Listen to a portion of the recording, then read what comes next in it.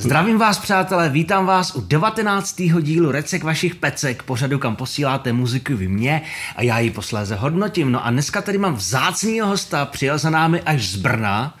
Je to Tomáš Řežucha. Peklu zdar. zvaný Paramba. Eh, Tomáše určitě všichni znáte, protože hraje nebo hrál v kapelách Big Boss Band, Paches, Ipka, Solfernus a je to vydavatel skvělého fanzinu Parambuchazin. Zdravím tě, Tome. Já tě taky zdravím. Jsme, rádi, jsme rádi, že jsi přijal pozvání k nám do Recek. Tak, to byla radost, že jste mě pozvali. Takhle, když se takhle krásně projdeš pětihodinovou cestou jsem po té dálnici. Já se já to užívám ten den celý, já jsem strašně rád, že jsi tady. Hele, Tome, víš to, že vlastně první kapela, která kdy co poslala do Recek a která vlastně vyšla v Reckách, byla Ipka? Vím, my jsme byli úplně první vlastně v prvním díle, hnedka první recenze. Protože vy jste byli první ano. kapela, která mi něco poslala a byli jste vlastně ty, kdo narušil ten náš jako uh, záměr recenzovat začínající kapely, který si to točí doma. Byla začínající kapela, skoro jsme to taky točili doma. Ne, ale já tehdy jsem k tomu došel úplně náhodou, ty jsi to zveřejnil a já jsem to zrovna náhodou akorát ten příspěvek viděl, že jsem ti asi během deseti minut napsal. No, a... jo, jo, byl jsi první, jo. A mám tě pořád rád, protože nás poschválil. prostě to muselo začít dobře celý. Přesně Takže tak. Myslím, že se to povedlo. Takže já si myslím, že Recky asi znáš, viď? Jo, jo, sleduju to, mně se to líbí, mně se líbí ten formát toho rozhovoru a potom, jak se pomlouvají ty kapely, jak nic neumijou a Jasný, umijou. No. To je právě úžasný, toto mě baví, že toto, to, to, to já jsem měl vždycky rád, když byly nějaké pořady i časopisy, kde psali ti muzikanti ty názory na ty svý kolegy nebo potažmo různé věci, které s tou hudbou hmm. souvisí. Vždycky mě to bavilo tohle. Akorát, že jsem to posílají ty kapely dobrovolně. Chtějí dostat za uši úplně dobrovolně. Yes, ale je to v pořádku, protože jediný kritika tě někam, pokud je konstruktivně, nemůže posunout. Protože to, že tě tady budou plázat kamoši po zádech a říkat, jaký jsi genius, tak potom vyjedeš o 14 dní někam dál a prostě každý tě poprvé, protože ve finále zjistil, že hraješ úplný hovno. Jo. Tesat do kamene. Ne, je to tak, protože jako kdo, kdo není hloupej. Bohužel u nás ještě je to takhle ještě postavené, s čím já se teda setkám celou dobu, že my, když něco někde zrecenzujeme a napíšeme a té kapele se to nelíbí, tak posloucháme, jak jsme arrogantní sráči no, že jsme zežrali svět, ale nikdo se nečte a nezamýšlí nad tím, co vlastně píše, že té kapele toto pomáhá, protože hmm. pokud no, ti napíšou čtyři lidi o té stejné desce hodně podobné věci, tak asi je to k zamyšlení. No. Ale tak. pak už záleží na to, jak jsou ty lidi chytří a jak chcou moc poslouchat a vnímat hmm. ty názory toho okolí a nechcou. My se určitě ještě o tom, co děláte v Parambuchazinu a vlastně o té tvý kariéře budeme bavit, uh, protože my budeme dělat vždycky takový rozhovor, děláme rozhovor a potom je vlastně pět pecek, který spolu přesně takhle umejeme jim prdel. Přesně tak, no, tak. já se těším, jestli tam bude Olympic, Thor, Arakain, co? Ne? Thor jo, říká začínající, tak to ten byl ten Arakain. Thor jsme tady měli.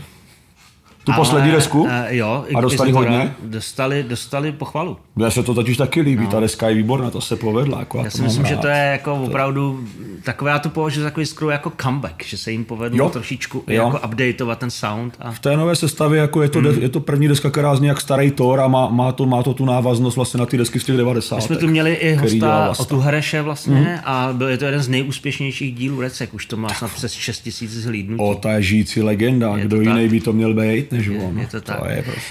Tak jo, eh, dost, nebo to, co, není dost keců, ještě budeme kecat, no, ale dáme si teďka ten rozhovor.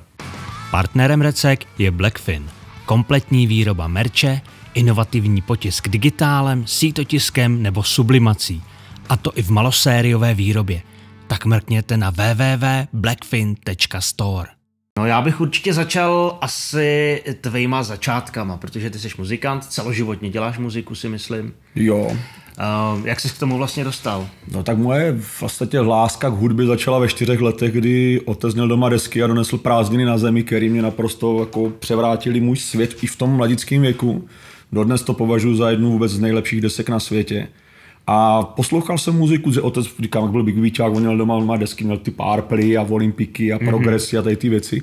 Takže toto mě, toto mě formovalo a hlavně na tom konci těch 80. ta metalová komunita začala nabírat strašně na síle.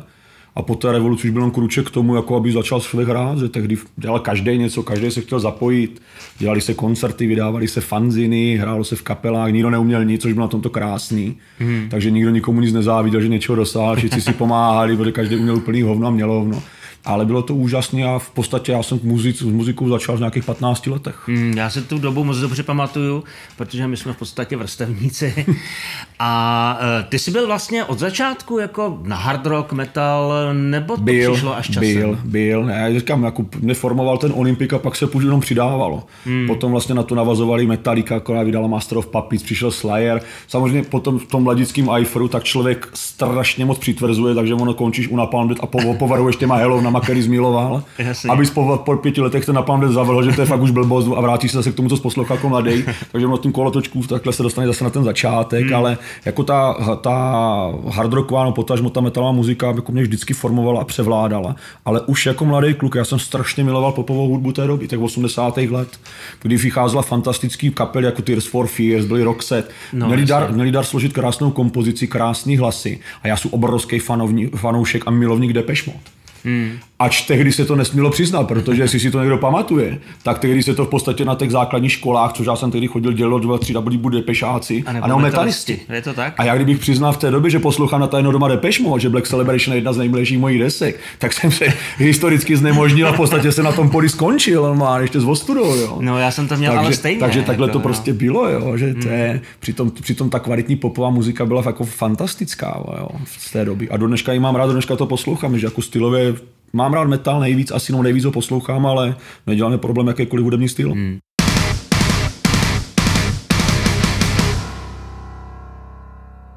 Ty jsi vlastně, ty jsi vlastně baskytarista, že? Ano. A od, jak jsi dostal vlastně k base? Proč, Ty, nebo úplně, proč zrovna basa? Úplně, tak za prvý já jsem snad nejhorší muzikant v tomto státě, který je. A já jsem začínal na kytaru to jsem po pěti letech zjistil, že tudy cesta nevede. A je, takže ty jsi a, takový ten typický špatný a kytarista, ještě, který Ne špatný, já jsem nejhorší kytarista. Jo, tak, no, tak...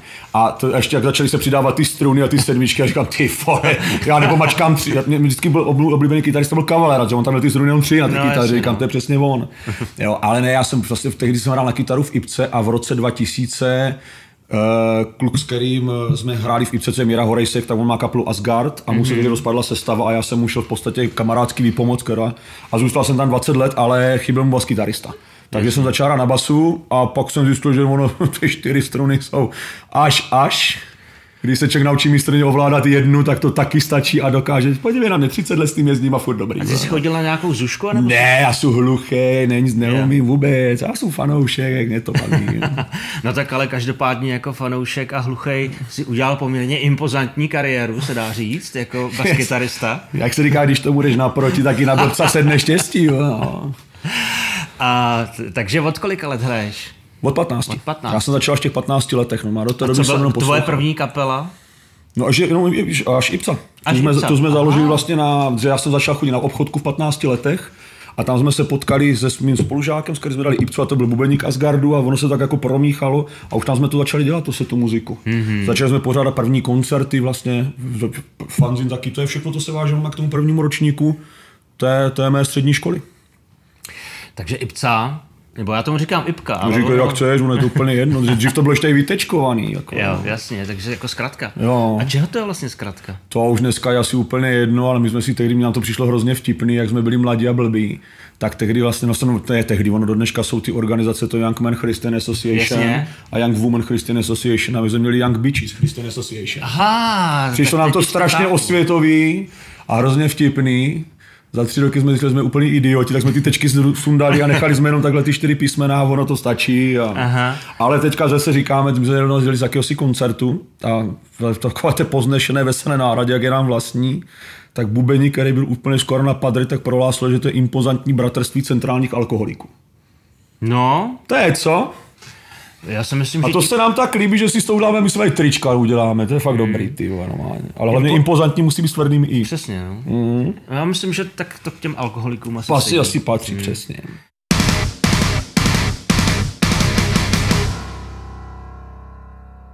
No tak dobře, tak uh, ty si hrál třeba uh, s Jirkou Walterem v Big Boss Bandu. Jasně, jasně. Tak eh, povídej, jak se tam dostal vlastně. Ty, tak Jirka, nechci říct, že celoživotní můj přítel velký, ale známe se fakt jako drahně 30 let. Mm-hmm. Právě z těch, z těch, z těch 90. kdy jsme chodívali do stejných hospod a tam ta, ti brněští muzikanti s tam fanouškama chodili pít. Ta hospoda se dokonce jmenovala na Sněhurce a fakt tam se každou středu, každý pátek scházelo třeba 60-70 lidí, co poslouchali metal anebo ho hráli a jezdili na ty koncerty a od tam se vlastně známí s Jurem, takže my jsme celoživotní přátelé.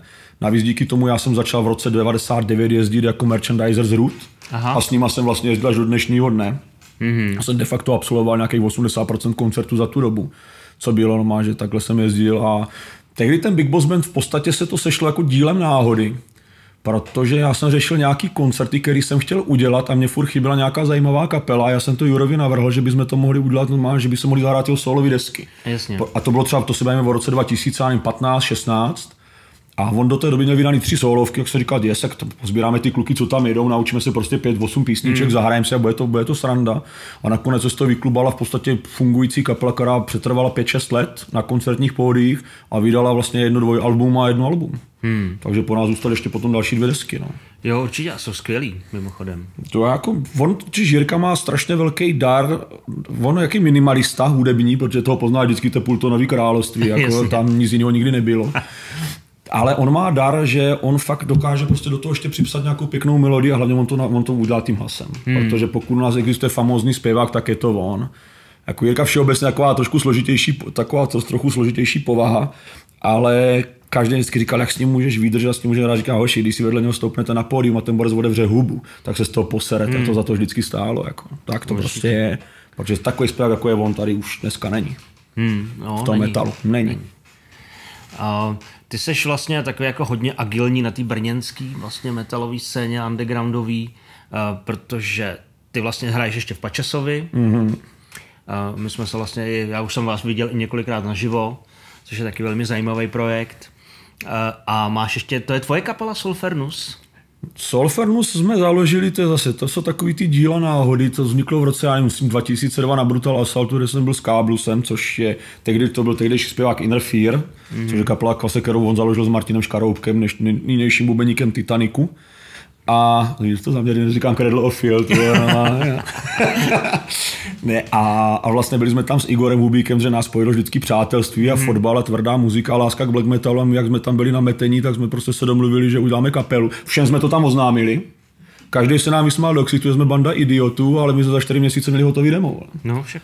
A pak jsme vydali desku, vlastně začal s náma hrát Tomáš Corn, což v té době si myslím, že byl nejrychlejší sypač tady, co byl. Mm-hmm. Taky my jsme si mohli dovolit ty tempa, které na té první desce na té Hysterien Koma jsou. Že on to prostě uhrál, dva roky jsme úspěšně jezdili, ale v době toho největšího iForu, kdy jsme mohli fakt jako někam to trošku posunout dál, tak bohužel se nám to rozsypalo celkem pod rukama. No. Hmm. Ať jsme měli připravenou druhou desku. No. A každopádně ty si teďka tady jako něco tak jako nadhodil o tom, že snad možná. No je, snad možná, protože ono snad možná už asi v 6 let nebo 10 let se tak o to nějak snad možná pokoušíme a tady z toho snad možná vznikla vlastně 2017 deska Neo Antichrist. Mm-hmm. A teďka to vypadá díky tomu, že vlastně Igor už nemá v podstatě angažmá v Urut, který přestal vlastně hrát díky Jasně. tomu, že Jirka ukončil kariéru jako živýho hraní, tak eh, teďka je celkem času a on se věnuje pouze Ravenoir, kdy Aleš teďka to dělá vyloženě jako studiový projekt, mm-hmm. s nějakým výhledem na nějaký koncerty, ale jako nic jiného není, takže on teďka se otevřel nějaký prostor, kdyby se mohlo začít něco dít. No.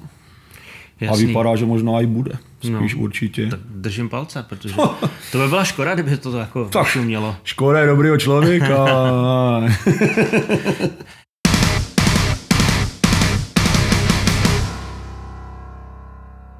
Tvůj další projekt, v kterého ty, ty jsi účasten, Pačes, tak vy vlastně vydáváte nový album, že jo? My budeme vydávat nový album. Počkej, vy, vy jste ho už vydali. Ne, to si pleteš. A hned tě vyvedu z omilu a vysvětlím ti proč. To vystřihneš, tak mě pěkně nasereš. ne, my vydáváme prvního devátý, nám vychází nová deska Absolutno, ke které se potom ještě nějak vrátíme. To, co ty máš mm-hmm. na mysli, tak vlastně teďka prvního vychází tento měsíc, vychází na vinilu poprvé naše poslední album, teďka v tuto dobu, mm-hmm. album Poupě který vlastně jsme vydali v roce 2001, 2021 eh, u Slovak Metal Army. To bohužel, vyšlo včera vlastně. To vyšlo včera, přesně tak. A bohužel se to potkalo ve strašně blbou dobu, protože vlastně tehdejší majitel vlastně Slovak Metal Army, vy jste u něj byli taky, Jasně. že jo, vlastně Juraj Hariň akorát v době, kdy nám vyšla deska, on za tři dny umřel. Hmm. Že nám to fakt jako vyšlo, takže ten vinyl vlastně nevyšel, že nám zůstali vlastně po něm jenom CDčka, krásné vzpomínky.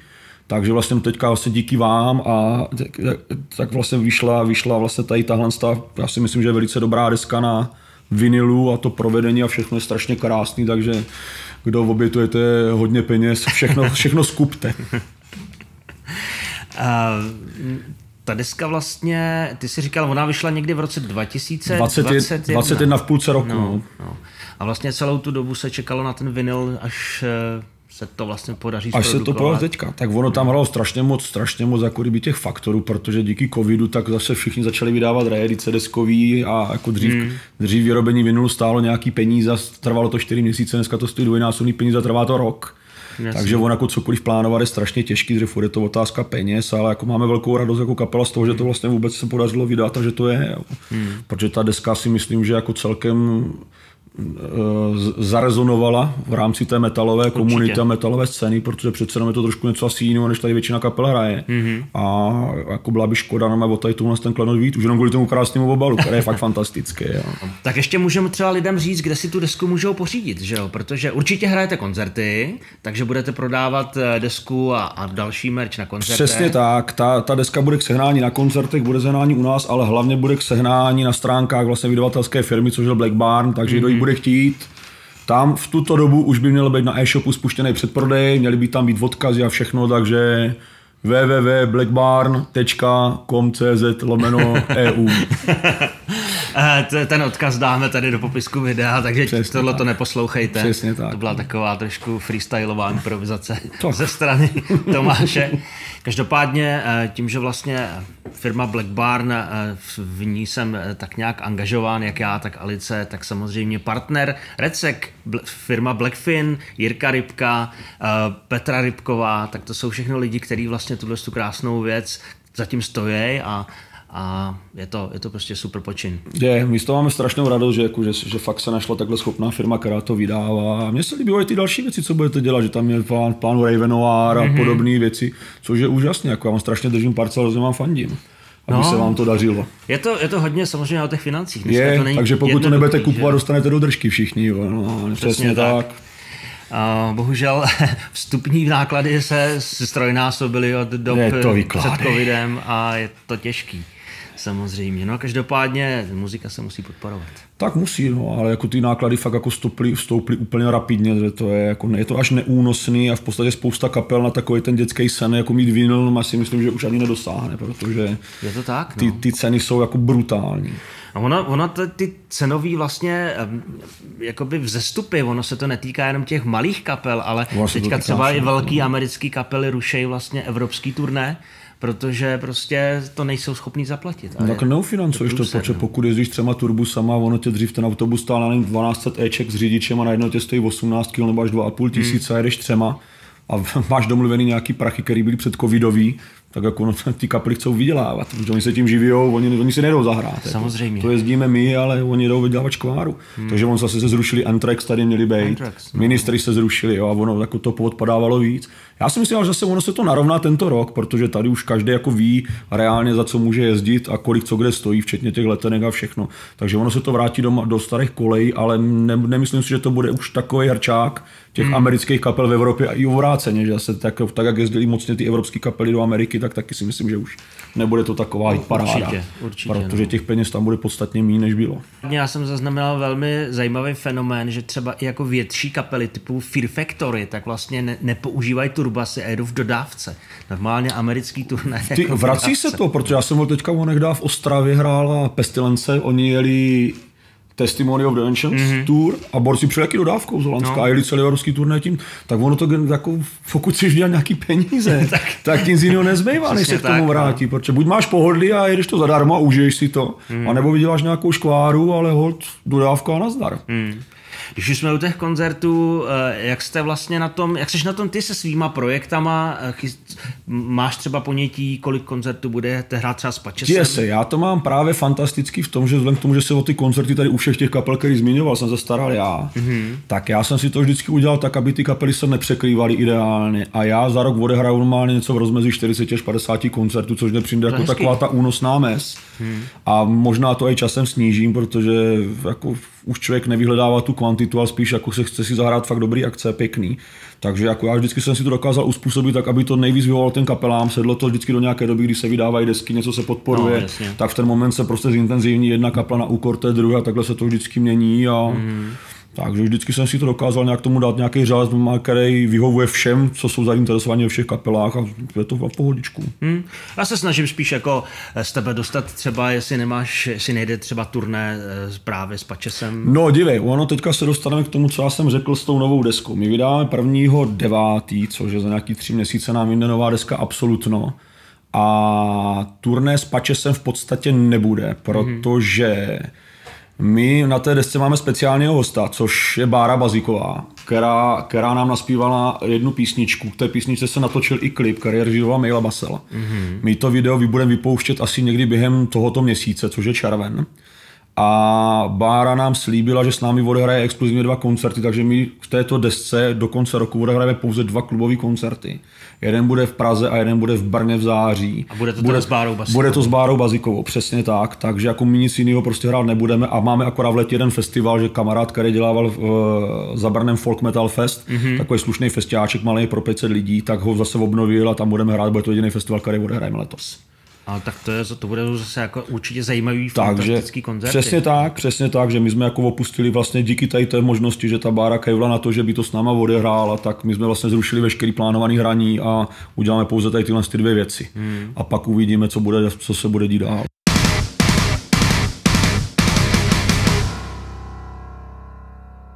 A jak jste na tom s Ipkou? Vy hrajete hodně v Brně, že jo? Vlastně? Ty, my, my objíždíme, no my eh, snažíme se hrát všude, ale opravdu jako taková ta Jižní Morava, Severní Morava, hmm. to je takový ten základ, protože tam nejvíc objíždíme, ať to jsou ty motostrazy nebo ty festivaly. Protože my jsme vždycky, tady se IPSA funguje 30 let tak vždycky to byla začátku jako ta party kapela, kdy my jsme hráli různé ty pohádkové věci a to dneška občas to něco ještě hrajeme. Ale teď jsme to pár, pár let zpátky přetransformovali v regulární band, vydali jsme dvě desky a snažíme se to posouvat zase někam jinam, už i v rámci té image, že teďka jdeme v těch loupežníkách a, a, a, a jako děláme, si, děláme si z toho srandu, ale jako ta Morava nám prostě ta, tam, je, tam je to těžiště zatím největší. Hmm. Ale chceme se dostat i do Čech. Pak do Německa, pak do státu a pak půjdeme do prdele, protože to, ne, to nezaplatíme už nikdy. Jasný. A proto musíte chodit na koncerty Přesně. a podporovat muziku. Abych musel do dolů. Aby si mohl koupit nový Ferrari a zase to já už mám, to já už nepotřebuji. Větší bazén a větší vilu a větší všechno. Přesně tak. Hmm. A o té podpoře muziky si povíme i za chviličku, protože budeme mluvit o Parambo Chazine.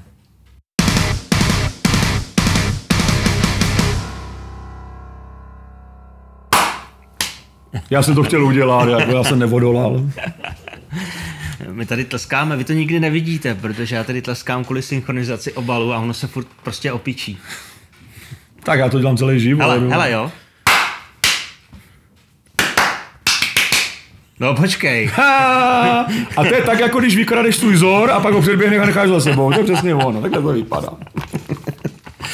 no, uh, toto vypadá teda. Toto vypadá. Uh, ty jsi ředitelem uh, tady toho Ano, obchodním ředitelem, náměstkem a sponzorem. Mm-hmm. Parambuchazin. Kdo neznáte, doporučuju. Eh, je to časáček, takový fanzin vlastně. Fanzin to je, je to fanzin, není to časopis, je to fanzin. Je to fanzin, který vychází dvakrát do roka. A je to věnovaný spíš té undergroundové metalové scéně, plus můžete si tam třeba přečíst o Olympiku. Přesně tak, to je, jak to jsou, to je, to je spíš o tom, že my vlastně sledujeme československou metalovou scénu, kterou to navázané, tam nejsou žádné zahraniční kapely, hmm. pouze česká a slovenská. A ten Olympik je to takový, že to jsou jako kdyby lidi, kteří měli přesah vždycky do té metalové muziky, protože ono nebyt Petra Andy a nevznikl, tak nevznikly tady ty rock mapy, tak jako tak. půlka těch kapel, kdo ví, kde by dneska byla. Jo, a tak co? oni si Olympik i škrtli trošku o metal. A oni měli období, kdy jako on s tím hodně koketoval, že ho to bavilo, takže tam jako ty desky, když ti svítí zelená, hmm. ou, no, ou, ou, ani ne, ale Big B, tak jako ty jsou tím hodně načichlí. No. Hmm. Um tenhle ten, tenhle ten fanzin, on vlastně jako vycházel už někdy od roku 2000... To je, to je hluboký 90. 90. První číslo vydali, myslím, v 95. roce. Uh-huh.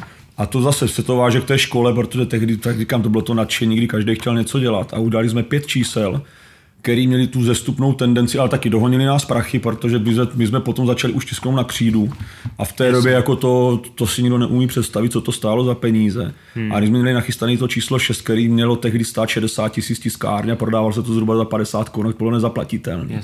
A vzhledem k tomu, že my jsme všichni byli študáci nebo těsně pod tím, takže jako odpískali jsme to, hlavně tehdy nás, tehdy nejen nás, ale všechny ostatní kolegy, tak položil ten nástup prostě těch eh, webových eh, internetových fanzinů. Hmm. Že začali vyjíždět tady foby a podobné věci, které v té době fakt byly poplatné a byly suprový. A tady toto de facto pohřbili, protože o to nikdo neměl zájem, to úplně zmizelo. Hmm. Ta redakce, která je dneska v Parambuchazina, to je asi předpokládám úplně něco jiného, než byla tenkrát. Je to jiný, protože já když jsem se k tomu vrátil, před těma pěti rokama v podstatě, mm-hmm. nebo před čtyřma rokama, co taky zase to bylo takový to dílo náhody, že já jsem vůbec ne, někdy nepředpokládal, že to ještě někdy něco takového se stane. Pro mě to byla definitivně uzavřená mrtvá záležitost, ale my jsme právě v té době dávali s Pačesem dohromady kapelu a řešili jsme, jako jak, jaký co nejvíc přiblížit a dostat k lidem.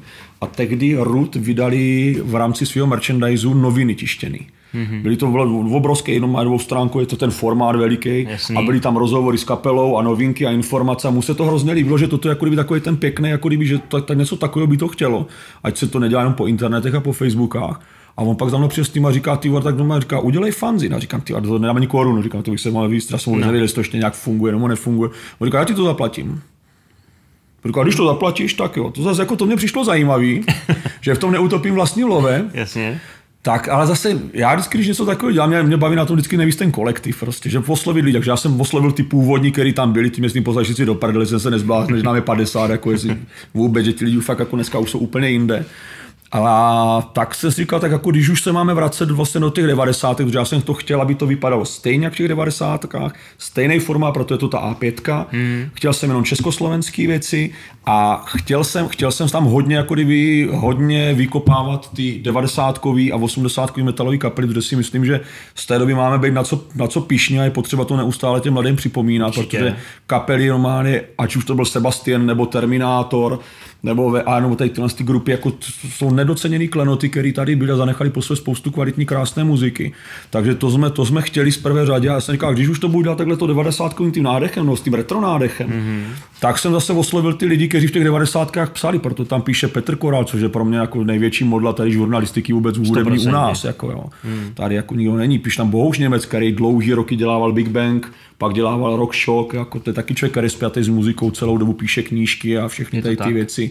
Jo. Oslovil jsem Radka Bubenička, který vlastně vydával v 90. letech Vypleš, což si myslím, že byl, nebo do dneška považuji z těch 90. jako magazín, to byl nejlepší časopis, co tady byl. Mm-hmm. Myslím tím obsahově, že oni nikdy jako neměli prachy na to, aby konkurovali tomu Sparku tím, jak to vypadalo, ale, ale to, co bylo ve jako bylo naprosto nedosažitelné pro ty ostatní, jak oni fakt krásně psali. Takže takhle se to nabalovalo a teďka jako největší radost mám, že v posledních dvou číslech nám píše Pavel Kutnar, který stál za fanzinem Metaliště, což teda pamatuju, že jenom ty největší srdcaři. To je opravdu a, legenda. A to je, to je věc, která podle mě tady jako změnila ten metalový běh dějin, protože oni měli největší dopad a po té revoluci jako toto byl toto bylo, bylo médium, který prostě tady určovalo normálně tu celou českou scénu a definovalo. Hmm. Je to tak. Já teda, když jsem tady teďka listoval tím, té poslední číslo, který vyšlo, to je tak měsíc. Ani ne měsíc, no. no tak eh, vy samozřejmě se nedržíte jenom těch 90 Ne, ne, ne, ne, ne. Tam, vždycky tam je prostě dvě, dvě, tři kapely, připomeneme z té doby, hmm. ty zajímavý, tady v tomhle tom čísle, třeba se podařilo zehnat post asi 150 letech vykopat ze země Pavla Pijáka, což byl frontman kapely Sax. Právě koukám. Jo, no. který byl úžasný a je tam rozhovor s, Otem, s Otou Husákem o Feratu, který taky hmm. si myslím, že v těch 90. letech prostě to byla kapela, která tady hodně předběhla. Jako jo, jejich vlastně. A Reinhold byl úžasný, no. bohužel pak se to rozsypalo, že všichni fakt tehdy hodně kapel skončilo na té vlně to buď grunge, anebo té Pantery, že začali hrát něco jiného, což byl třeba tak. případ i Denetu a tady těch kapel. Hmm.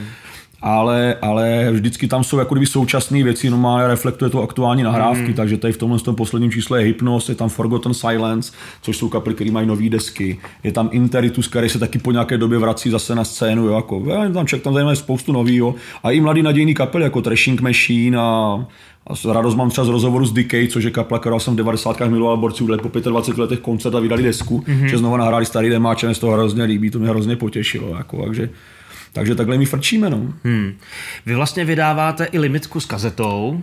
To se zase váže k těm 90. protože my v těch 90. letech už tehdy, já jsem se vždycky snažil o to, aby to mělo nějakou přidanou hodnotu.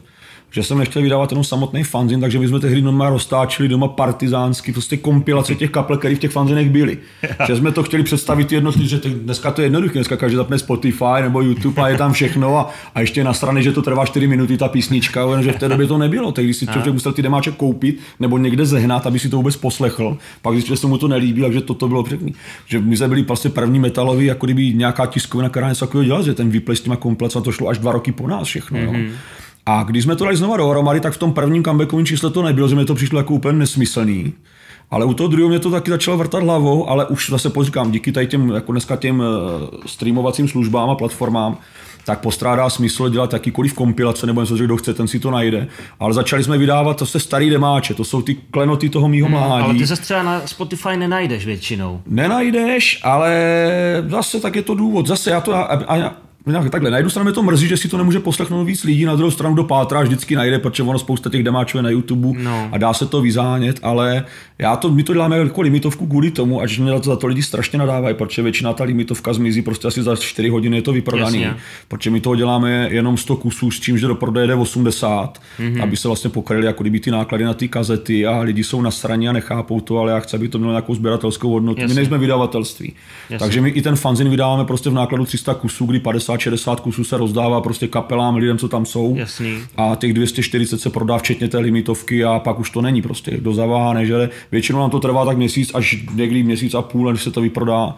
A mm-hmm. pak to teda zase, až je to vyprodaný, tak kdo by to chtěl nebo kdo to nechtěl přijít, najde to na internetu. My jsme to nahráli teďka, nebo nahráváme na úložtu, nebo já nevím, jak se to teďka jmenuje, jak oni to změnili na tom Islandu, ale jsou tam nahrány všechny čísla v PDF, takže kdo chce, Jasně. tak si to může najít. Ten odkaz na to je na našich facebookových stránkách a jsou tam všechny čísla ke stažení, takže mobilu si krásně můžou louskat úplně všechno, co tam je. Jsou já tam jsem právě od prvního od 90. Eh, říct, že vlastně vy fungujete hlavně na Facebooku, ta komunikace s fanouškama. V podstatě my ten Facebook držíme, jako já jsem to založil kvůli tomu Zinu, aby jsme to, aby jsme to jako spopularizovali, a zase hmm. na druhou stranu, jako když mě někdo něco pošle, nebo někde něco vidím, tak zase nejsou jiné, jako aby, aby klikl sdílet, to zabere člověku tři vteřiny a občas to těm kaplám nebo někomu pomůže, že je to přece jenom víc vidět. My tam nějaké hmm. ani dva půl tisíce lidí, takže jako kdo pošle si koncerty, nějaké novinky, potom já mu to tam dám, jako my s tím nemáme problém. Já se ptám spíš proto, že vlastně lidi, když si chtějí ten eh, fanzin, fanzin koupa, koupit, ne koupat. koupat se s ním můžou taky, to je přesně dovaný, no, to je dovaný. Dovaný. Uh, tak eh, vlastně vám musí napsat na e-mail, že jo? Je to... Ideálně na e-mail, paramucha, seznam se, anebo na ty facebookové stránky, že to stejně dělám já, no ale jako kdo by to chtěl, tak si musí hodně pospíšit do posledních asi 25 čísel, nebo 20. Tady z toho? Tady z tohle, z toho je to hotový hmm. zase a pak až, pak až na podzim. Jsou tady fakt jako skvělé věci, můžete si přečíst o... Hele, to, to zrovna neznám. Ne, to je totiž, to se jmenuje Divno album Divno a my tam, album. my tam každý, každý číslo vybíráme. Já myslím, že to je logo nějaký ne, ne, ne, kapely. to tak vypadá. Ale tam třeba v tomto čísle je Vítaci, že to jsou desky, které jsou absolutně netypické pro ty kapely, ano. protože Vítaci se proslav vzhůru přes oceán a pak když vydali toto, tak to bylo k zblití v podstatě. Jo, jo, to je... Je tady recenze třeba na nový Trahir? Přesně tak, a protože neposlal peníze, tak nechválíme. No jo, nedá se no, nic dělat. No, nedá se nic dělat. Show business je to prostě je no, strašně no. nemilosrdný odvětví. Ale zase on nám slíbil, že nám tady natočí desku, můžeme tady být měsíc zadarmo, tak další, za dva roky vydej novou, tak vyhrajou. To hmm. už vím teď. A, no. Počkej, nesmíš, to, to mělo být překvapení. Tak vás překvapíme za dva roky, že vyhrajou, jo? Pak tady vidím Hayden, to je výborná deska, to se strašně Silence, povedlo. Forgotten taky úžasný. Jasně, s pijákem rozhovor. Uh, to je vlastně strašně skvělý a je škoda to číst jenom v tom pdf takže... Ne, kde se papír je papír, ale papír jak jsem říkal, papír, jako no. pro mě je důležitá i ta přidaná hodnota sběratelská, prostě, že lidi taky nadávají normálně, že já jsem to nezjistil, říkám, tak si to pohlídej prostě. Tak, hmm. abys ráno otevřel Facebook a podíval se tam, nebo si to nastavil jako zprávu, hlavně ono ti to tam pípne, když už jsi úplný blbec, ale prostě nebude to, jako lidi nadávají, píšou doma, že to chcou, říkám, nebudu to dělat.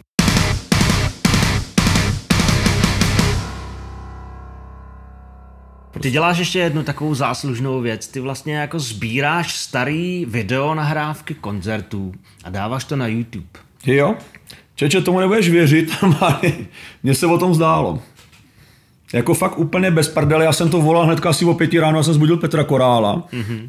Že já jsem to nechtěl zapomenout, já jsem mu říkám, pojď sem ty vole, mně se normálně zdálo, že já jsem byl na nějakým koncertu Teď jsem tam normálně seděl na baru s nějakou kapelou, vůbec nevím, kdo to byl normálně a on říká, ty vole, mám tady doma náš starý koncert, ale mám to na VHS, nevíš, kdo by nám to dal ven? A mě to fakt zůstalo v té hlavě, já to opravdu si nedám prdel, jako já si vymýšlím hodně věcí, ale to, to opravdu je pravda. A tomu Petrovi jsem volal a on vymyslel ten název, eh, ten eh, metalový archlív, že to je. Mm-hmm. A vlastně já jsem oslovil takhle přes ty sociální sítě, potom přes kamarády, různý lidi, kterým se to doma válí. Takže kdokoliv, jestli máte doma starý VHS s koncertama z 90.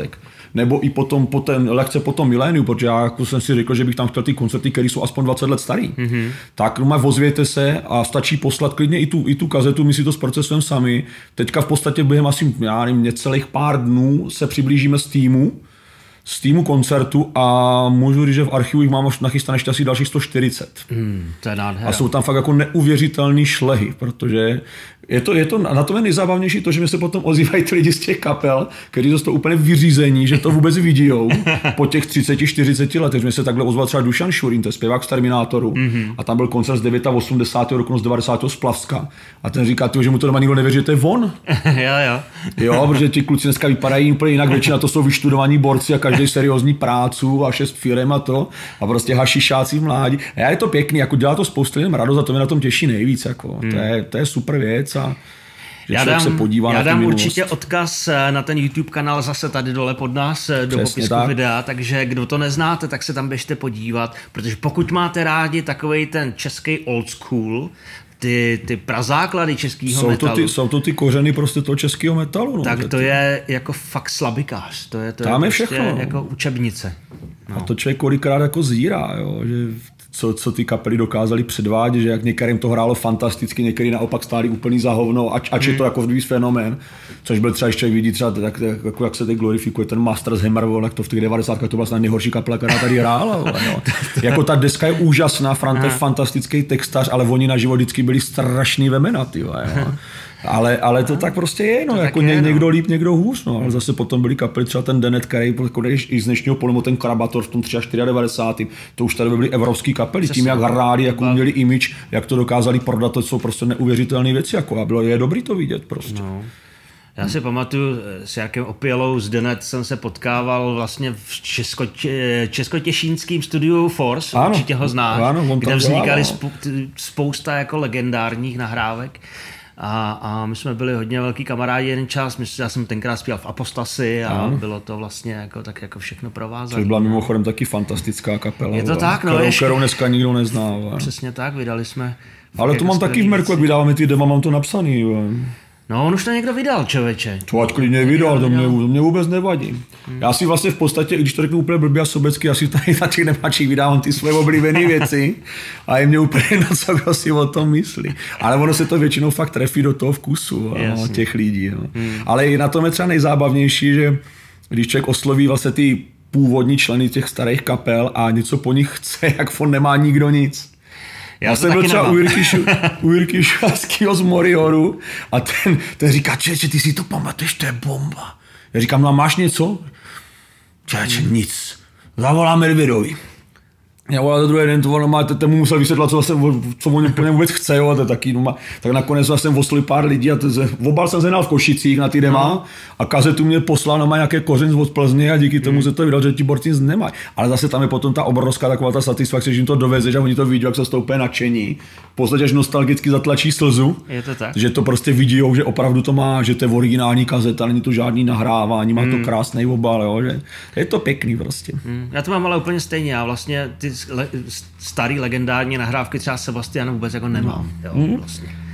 A vždycky to třeba někdo postne někam na YouTube, nebo, nebo se to někde jako vynoří. On, on jako vždycky no. ty lidi nějaký to mají doma, ale je potřeba se k ním dostat a nějak to z nich vymalamit. No. Jako všechno se vždycky někde objeví. No. Je to tak, no.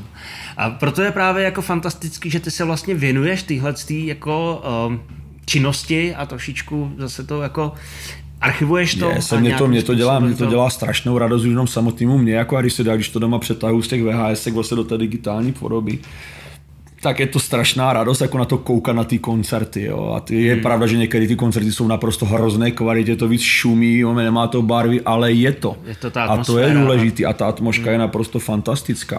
Hmm. Když si tam člověk najde nějaký ty koncerty třeba z těch 90. nebo 89. let, tam jsou právě ti ruti, saxy, krabator a tady to, tak to jsou neuvěřitelné věci, je prostě to, to je strašně dobrý. Hmm. Je to tak.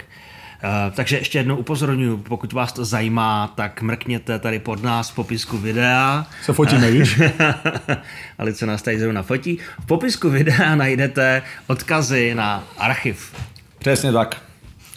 A, tam a jestli můžete... něco máte, každopádně posílejte. Určitě. Kontaktujte nás, pošlíte nám všechno. Třeba i nějaký rodiny dovolený, my zkousneme všechno. Domácí porno. Domácí porno, přesně tak. No. Uh, možnosti jsou neomezený. Přesně.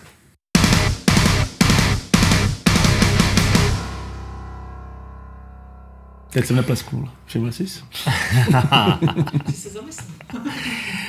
Už se přestala opičit. Už je unavený.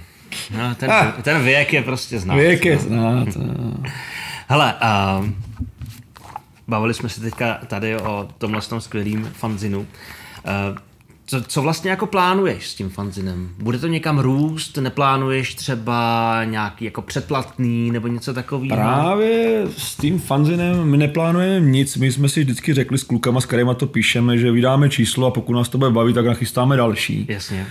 Zatím zaplať tam to všechny baví, takže všichni z toho mají radost. No, to každý hlavně dělá kvůli tomu, že my vydáme čísla, pak se v jeden víkend spolu ožereme, takže mm-hmm. to je mhm. taková ta motivace hlavně pro ty písatele, kterou tam máme ale já ani růst jako nemám zapotřebí, jako on to občas někdo předhazuje, že to je pořád stejný, ale to je přesně ono, já to chci, aby to bylo pořád stejný. Yes. Já chci ten nádech těch devadesátek, nechci dělat předplatný, já nechci sklouznout k tomu, že něco vydávám, abych to prodal, no má ne. My to mm-hmm. děláme prostě, kdo chce, no má, má, má rád vlastně ty československý fanziny, nebo ten československý metal, tak prostě si to pohlídá a vždycky se k tomu nějak dostane.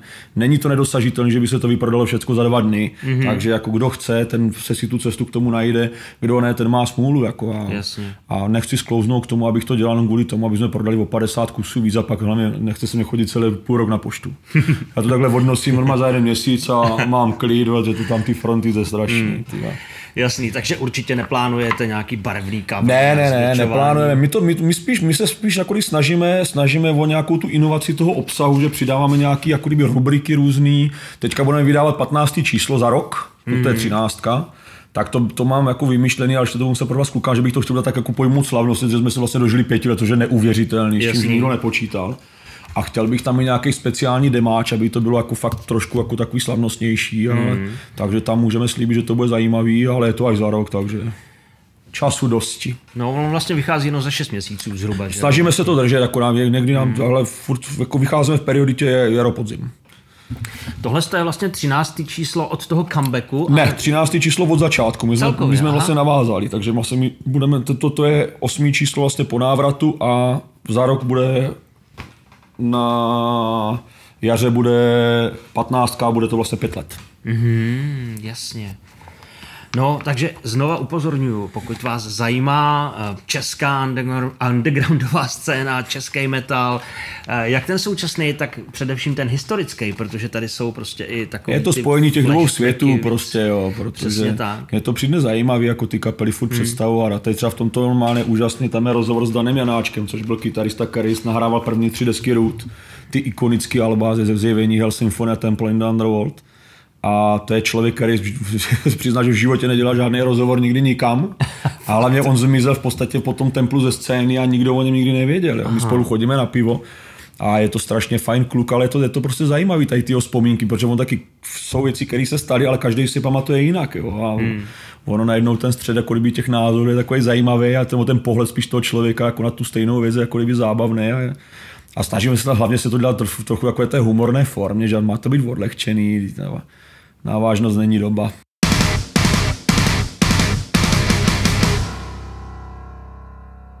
Co teda Tomáš Řežucha jako, jako muzikant, jako, jako člověk, který vydává takovýhle, takovýhle fanzin, uh, co vlastně nejradši posloucháš? Já tak jako předpokládám, že to jsou asi ty devadesátky, dejme tomu, nebo osmdesátky. Jako chceš to takhle jako oddělit eh, jako rokama, nebo chceš styly nebo přímo kapely? Mě by spíš zajímalo uh, vlastně to, co tě... Dívej, já ti to řeknu takhle. Já mám rád, staré, já, takhle, uh, muziku mám doma na vinilech. Mm-hmm. CDček mám doma jenom pár, to jsem vždycky dostal od kamarádu, že to si nechám na památku. Jasně. Ale sbírám vinily, mám zhruba tisíc vinilů.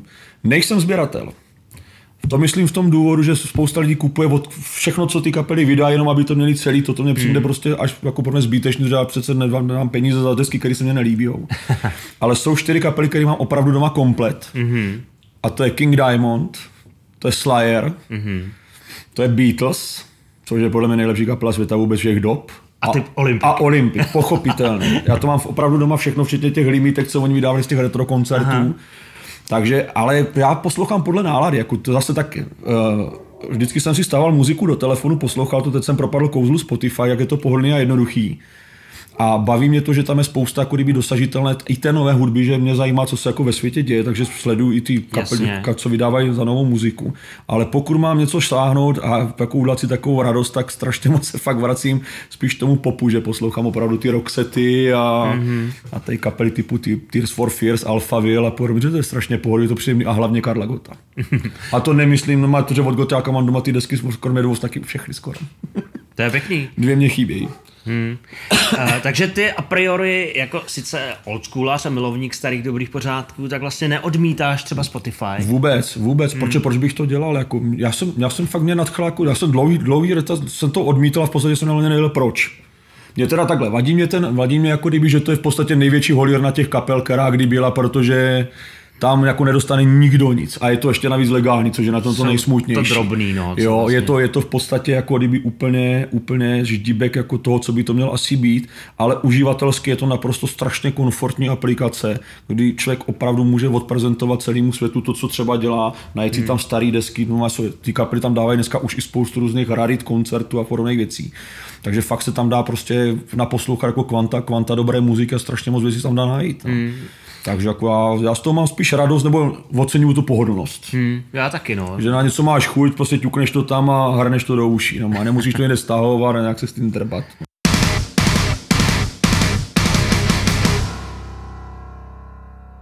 Ty jsi už tady několikrát zmínil, ty jsi velký fanda skupiny Olympic. Mm-hmm. Že jo? A ty jsi třeba i s Petrem Jandou dělal rozhovor eh, do, dělal, do dělal, dělal. To je takový, zase jsme u toho, jak si plním ty dětský sny s těma kazetama, tak to je taky ten, ten můj velký dětský sen, který se mě splnil a je to, je to jeden z těch dní, který patří k těm nejšťastnějším a až budu umírat, tak toto je zrovna ta věc, na kterou si vzpomenu protože on je fakt pro mě modla. Jako. Někdy bys řekl, no ale můžeš jít tady do baru s Jamesem Hetfieldem, ale vedle sedí Janda, tak já půjdu za Jandem prostě. Hmm. Jo. Já to mám fakt ten, ten Olympik, já jsem hrozně ujetý, já to hrozně miluju, tu muziku. A hrozně mě překvapil, jak ten člověk je strašně milý, vstřícný, fantasticky se tam o, o mě půl dne staral. Výborně jsme si popovídali a nejvíc mě udivilo to, jak on opravdu si všechno pamatuje a všechno ví. Hmm. To je, on, že já jsem tam byl chvilku potom, co oslavil osmdesátiny a je to neskutečný, jak mu ta hlava jede. A hlavně, jakou má chuť pořád do toho života a do té muziky. Hmm. Jako to je klobouk, jako od něho by se měli všichni učit. Protože i ve světě máš kapely typu Guns N' Roses, Aerosmith a všechno, které jsou ikony, ale ty kapely 30 let nevydali nic. A když jo, tak to stálo za hovno. Ale ten Boris prostě každý dva roky vydává novou desku. A ty desky jsou velice dobré. Tam nikdo nemůže říct, že to vydává jenom proto, aby něco vydal. Mm. Prostě to, fakt ta muzika je fantastická. Jo a poslední deska Olympiku jako to a považuji jednu z nejlepších desek posledních deseti let u nás, co vyšla vůbec. Mm-hmm. Ten Petr Janda, on se poměrně výrazně zapsal i do historie českého metalu, že To byl hlavně taky, to byl ten druhý důvod, proč vlastně on v tom fanzinu byl, protože polovina toho rozhovoru byla vlastně o té rock mapě a o tom, jak on začínal vlastně v začátcích těch, no, na konci těch 80. let pomáhal tomu českému metalu na světu, protože jako nebejt ho, tak kapely jako Arakain, Thor, Kabát, Titanic, Kern by se, asi by se taky proslavili, možná i ve stejné míře, ale měli by to o trochu delší a o klub složitější. Jo. Hmm. Protože ten Petr de facto prošlapal tu cestu, že tehdy, aby vyšla někomu u suprafonu deska, jako to bylo nemyslitelný. Jo. Hmm. Ale on měl natolik velký slovo, prostě, že to udělal a investoval tu energii tady do těch kapel, který ho prostě bavili. Já jo. podotýkám, že Petr Janda měl vlastně projekt Rockmapa, ano. který map, mapoval vlastně českou rokovou scénu, nejenom tedy metalovou, ne, ne, tam byly, tam byly kapely i... typu Taxi, Pohoda, no. který byli s nádechem blues a všechno, že on fakt vybíral dobrý kapely, ale, ale na svou dobu ale to byl na svou dobu to byl jako pionýrský počin a počin. jako já nejednou jsem někde slyšel nebo četl, že on je vlastně takový, takový praotec českého metalu a já si myslím, že ono ve své podstatě je to pravda, protože opravdu jako on tady udělal tu, tu největší práci, udělal on na tom začátku.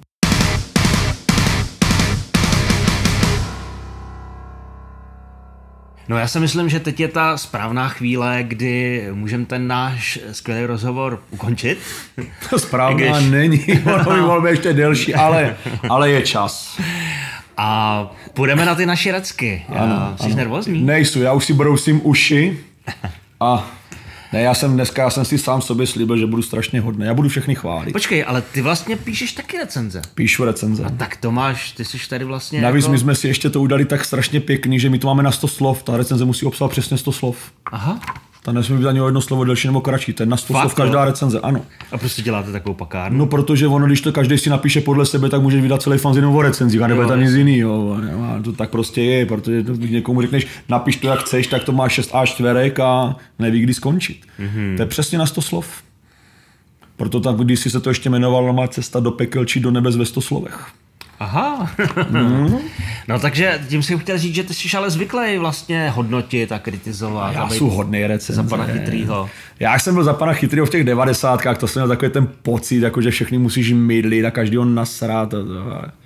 Dneska spíš se člověk se jako snaží najít něco pozitivního, protože spíš v dnešní době já obdivuju, že vůbec někdo něco dělá. No jasně. Protože je to neuvěřitelný, že ta společnost jako celkově spohodlnila, zlenivěla, na všechno každý sere, všechno jenom o penězích a o tom přístupu tady, tom, tady tímhle, tom, jako o tom mamonu a o těch věcech.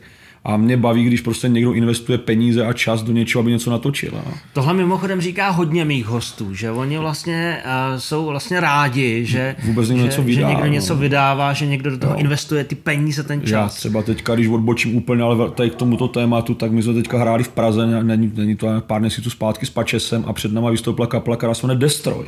Mm-hmm. Je to strašně originální název, ale ti, ale ti kluci mají dohromady 44 let nebo 45. Mm-hmm. Tam nejstarší, myslím, kytarista, který má nějakých 16, jinak bubeník má myslím 13 roků. Mám pocit, že jsem o nich slyšel. Už, a no. oni vydali teďka IPko, samozřejmě to poplatný tomu, ale na ten věk oni hrají úžasně. Je to takový ten trash metal, prostě toho 80 kg střihu s takovým tím moderním pohledem trošku. Mm-hmm. Ale říkám, vidím, mě, mě baví to, že ti kluci prostě umí hrát, baví je to. A teď jsem viděl nějaký měsíc zpátky koncert a oni hráli zase to bylo chlup lepší, než to bylo předtím. Jo. Jasný. Ta, toto já obdivuju a strašně těm klukům držím palce, že protože to, to je pro mě nemyslitelné. Já neznám jinou kapelu za poslední deset let v tomto věku, kde by to dělal. Mm-hmm. Vždycky se objeví nějaký muzika nebo někdo jeden, nějaký zajímavý, ale jako aby tady tři borci neměli dohromady 50 let a bydleli, to jako úžasný. No, dneska, už, dneska už těch kapel tolik ani není, protože se to jako rozměnilo, rozměnilo ty záliby a... Je, je strašně moc lákadel pro ty děcka, jo, a ono hlavně z té muziky, co si nalhává, stal se z toho konzum. Ono bohužel dřív to mělo, nebo ještě v těch devadesátkách mě to přišlo, že to mělo ten nádech, že jsi opravdu jako uměl, že jsi artist, je, je to jako kdyby, jsi, ne něco víc, ale jsi jako kdyby za to ceněný, že děláš, děláš umění.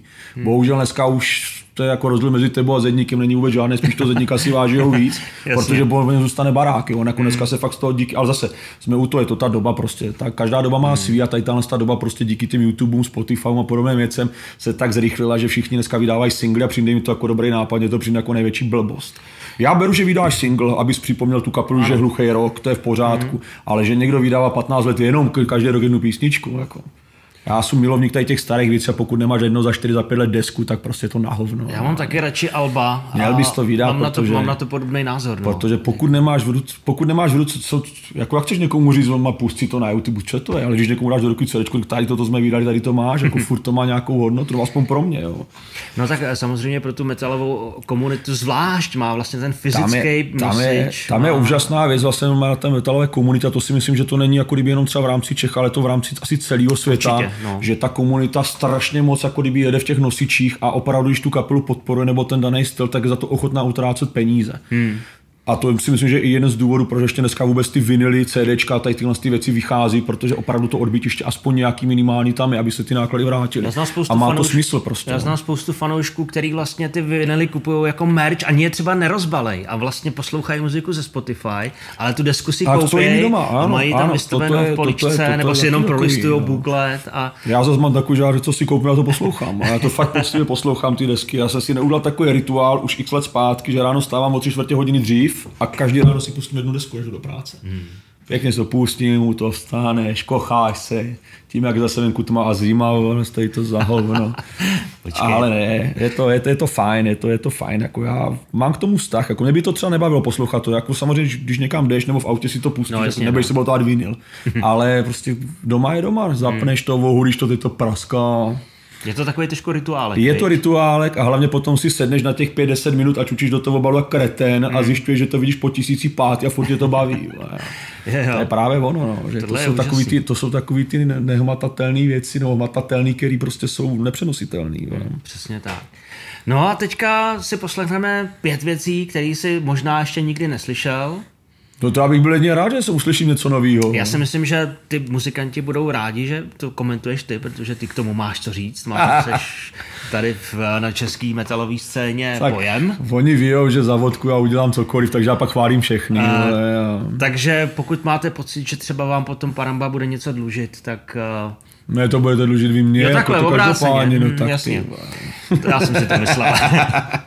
Ale zase třeba, když někoho utřeš, tak ti můžou třeba někde zase jako Ty, to se mně nestalo, já jsem se jenom setkal s tím, že fakt jsem poslouchal, že, že jsou arrogantní zmrta hajzl, vole, a že jak umíš hovno a každému kecáš, co by měl dělat, ale zase jsme u toho čeství, vlastně místo, aby ty lidi poslouchali, co jim říkáš, tak poslouchají Hmm. jenom to, a mají pocit, že uráží a není to vůbec pravda. Jo. Ale každopádně tady, eh, tady ti to nehrozí, protože ty kapely to sem posílají o svý vlastní vůli a oni vlastně vědí, že, že to posílají proto, že k tomu dostanou nějakou konstruktivní kritiku. I když mnohdy tady velmi, velmi chválíme, takže Budem chválit taky. jdem na to. Jdem na to.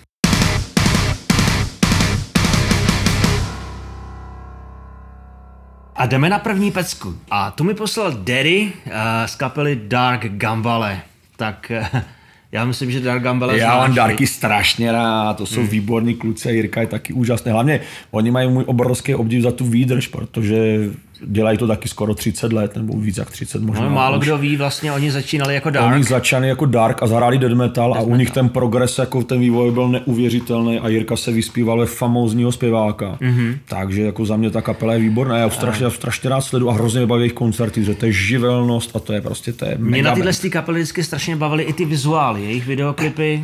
Oni, oni, oni mají, on, ale to, to zase vždycky, to desítka tady tohle to vždycky dělá, vždycky potom šel, že ten vizuál a i to provedení, že on vždycky stavili scénu na tom pódiu a všechno, že on si na tom dával záležet.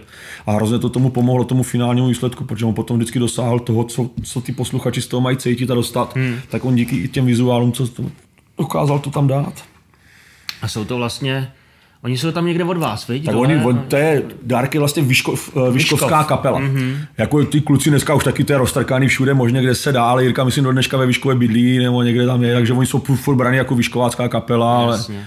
ale jako jsou, jsou fantastiční, já se na to moc těším. No, každopádně nám poslali uh, svůj nový videoklip, který se jmenuje Špatné věci a je to z Alba, který ještě nevyšlo.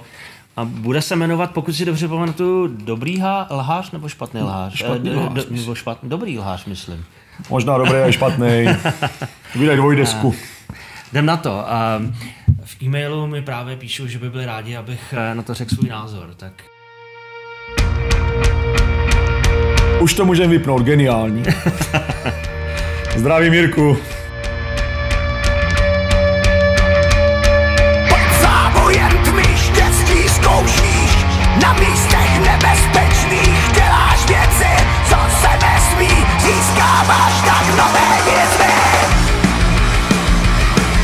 To tlačí, to je mazec. Uvádí Je výborný. má nějakého mladého bubeníka, člověče, ne? Není tam někdo novej? Já mám, že on už tam nějakou chvilku je tady Jo. ten, ten klučina, no. Že tam hrával dlouhě ta Gotyš a ten, ten, ten, vlastně ten nějak skončil, ale jako už nějaký, nějaký pátek zpátky a... Ne, v tom je slyšet, že to je vyhraná kapela, která ví, co chce, jako to je dotažený, zvuk to má výborný, tam je přesně to, co oni potřebují co z toho dostat, to tam všechno je.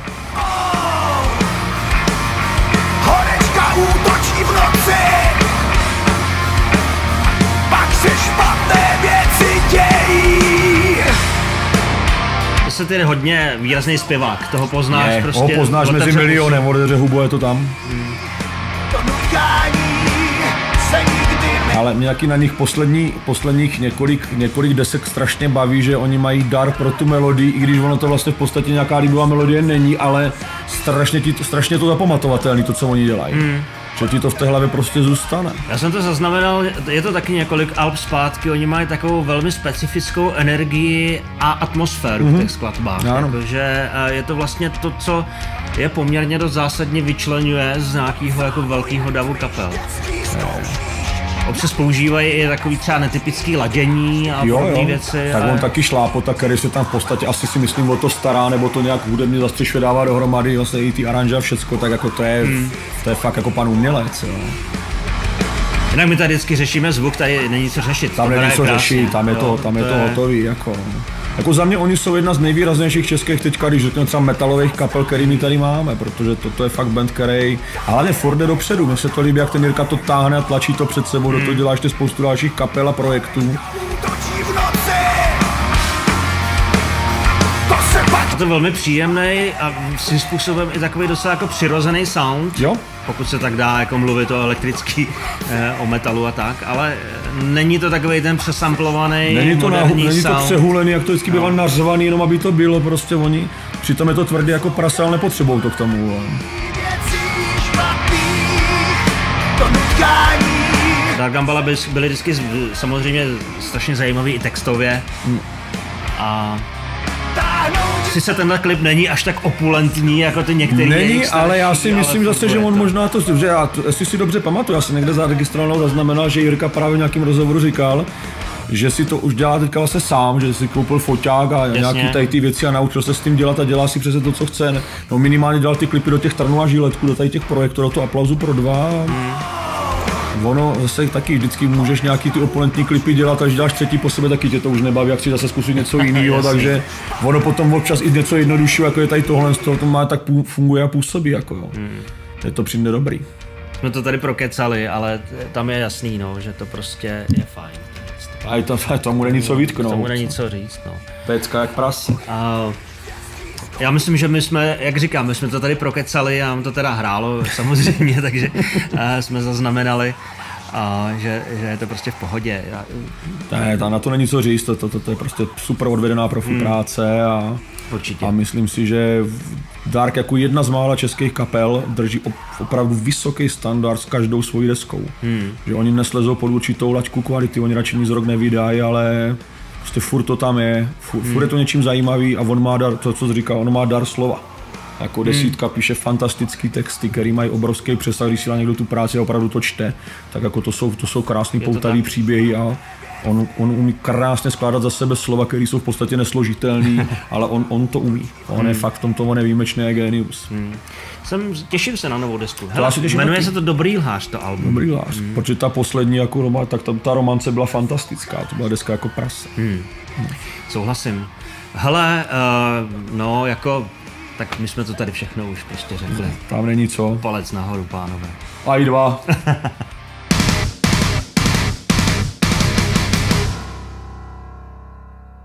Tak jdeme na druhou pecku. A tu nám poslala kapela za 110, kterou už jsme tady jednou měli, pokud si dobře pamatuju. A poslali nám zřejmě nový single, který se jmenuje Lásky noc. Je ten název tak originální, že Uh, já, no, a ta bude asi jako, t- t- dává to tušit romantický cajdák. Já, Ale aby se překvapen, tam je nějaký hukot, a nebyla to nějaká metafora na něco, ale to je tak vomšelý a tak klišovitý, že to je neuvěřitelný. No, je, je, to fakt, no. My jsme si mysleli, že to je třeba něco, že není to cover nějaký Vondráčkový nebo něco? Nebo to od Kyry, nebo od, od starý, nebo od mladý. Jo. To je jedno úplně, protože ten název... Stará má dlouhou noc, mladá možná ještě lásky noc. Aha! no, Mimochodem Helenka je taky fantastická, zdravím. tak to tam hojízní. tu bych jsem chtěl do Recek, aby nám... My jsme tady měli Leonu Machálkovou. Viděl jsi díl s Leonou Ne, Machálkovou? neviděl, Tak to si pustím. Uh, tak jo, tak uh, za 110 Lásky noc uvidíme, jestli to je cover uh, nějaký, nějakého šlágru. Ty je Big Boss, dobrý.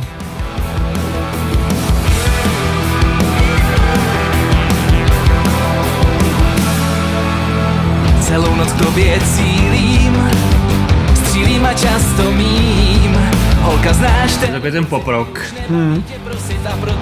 snadno Moc se mi to nelíbí zvukově, je to takový strašně přetlačený, překomprimovaný. To přijde zahuhlaný No, strašně, je že to. to jako nemá, nemá to tu čistotu, takovou tu jiskru. Nemá, no.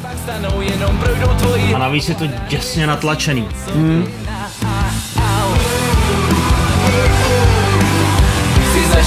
Já úplně sedím, jak ty kompresory tam jedou, jako.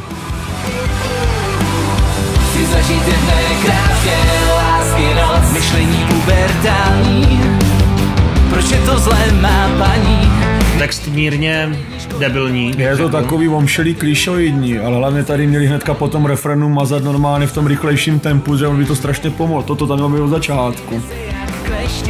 Já si myslím, že toto kdyby přesně dělal nějaký producent a fakt na to měli nějakou chvilku čas, tak se z toho dalo vyprodukovat jako opravdu dobrá pobroková věc, normálně typu Bon Jovi, normálně, nebo třeba u nás té Argemy, která to taky dělá velice dobře.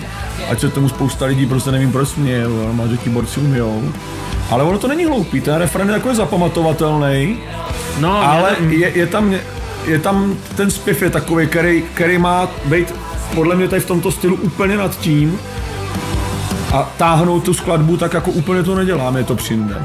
Ví, že se někdy stává, že po pár locích se motá hlava, že mozek ten text přijde hrozně jako naivní a vlastně Je. jako blbej svým způsobem a to je v- u mě hodně velký deal breaker, jo. Samozřejmě my nejsme vůbec toto cílovka. Třeba, toto mě třeba přijde zajímavý, jak to má podspívaný od té holčiny nebo od někoho normálně, že jak to, jak to zdvojíš ten hlas a dáš tam jinou barvu do toho, tak najednou to není tak hloupý. něco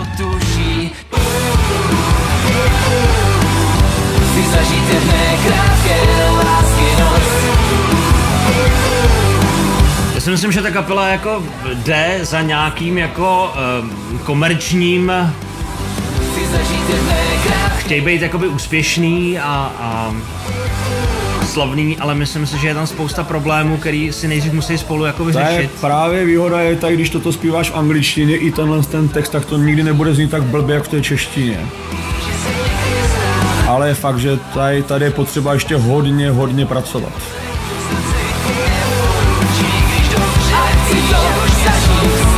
Když to ještě jak to máš smíchaný, že najednou v tom referendu má ten zpěv být nejvíc, tak najednou ti to mizí, že to prostě přeluší ty kytary. Já jsem to chtěl Což je, říct, což je že strašná škoda. i na že on ten zpěvák není hloupý, no má, on, to má, on má jako celkem zajímavé, takovou zajímavou barvu hlasu.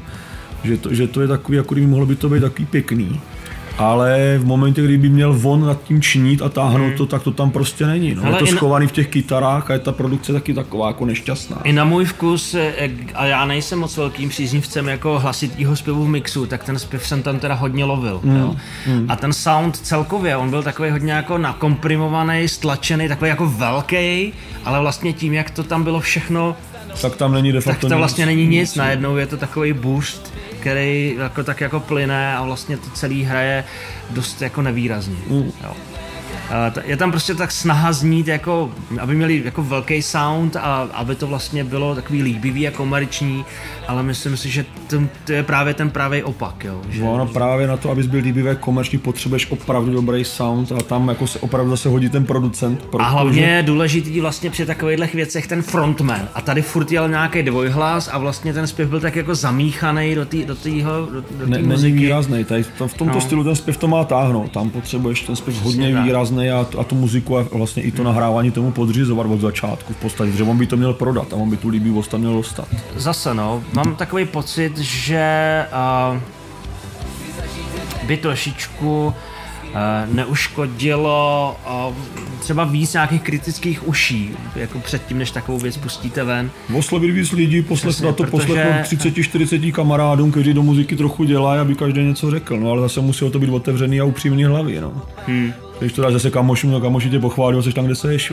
Protože jako jistý potenciál tam cítím, ale... Mně se líbil eh, třeba ten refren, jak je vystavený normálně jako Hmm. s, tou melodií, s tou nosnou, jako to je pěkný, ale tím, jak je to prostě takhle smíchaný, tak vlastně to pohřbívá v podstatě tu nahrávku samou o sobě celou. je to tak, no. No, a je to škoda, protože jako toto, já zase jako tady tenhle ten styl mám rád, že ty kapely typu Bon Jovi fakt baví. Ono tady to bych úplně jak Bon Jovi Ne, já jako vím, ale beru, ale- beru to, že to je jako kdyby podobný, takový ten poprokový styl a mně se to líbí, ale, ale tady to fakt jako hoří a padá s tím zvukem, který je problém. No. Hmm. Ehm, v tom našem hodnocení eh, na palec nahoru to není, ale samozřejmě není to ani na palec dolů, ale tak jako něco mezi bych dal. Rozhodně jako... Ne, že by jako to ne, no, bych pak ještě... Eh, Rozhodně pokračujte, jo. Já bych se možná fakt jako zamyslel nad eh, tou textovou stránkou. Dej si napsat skvělý texty, který budou chytlavý a zajímavý a nemusí to být úplně takovejhle jako plitkej. I když to může být o té lásce, ale dá se to Může, napsat no. jinak, jako těch slov je podstatně víc, než ty, co jsou tady, který jsou v každé druhé skladbě. Ale vlastně už jako díky tomu, že ta skladba se jmenuje Láskynost, tak já jsem trošku čekal, že to bude jako blbý. Jo. Hmm. A, a bylo. Jo, a tohle to je zase trošku jako deal breaker a myslím si, že to je taková ta věc, která strašně rychle zestárne, protože ty vaši fanoušci z toho vyrostou a pak už to nebudou poslouchat, protože nebudou prostě chtít. Jo, a to je ten problém.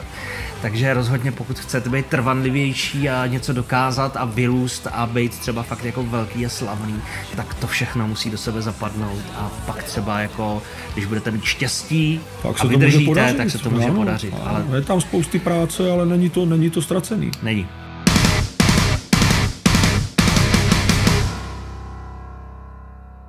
Uh, jsme přesně v půlce. Budeme poslouchat za chvilku třetí věc. Já myslím, že v půlce celého rozhovoru teprve. no. No, vlastně jo, svým způsobem.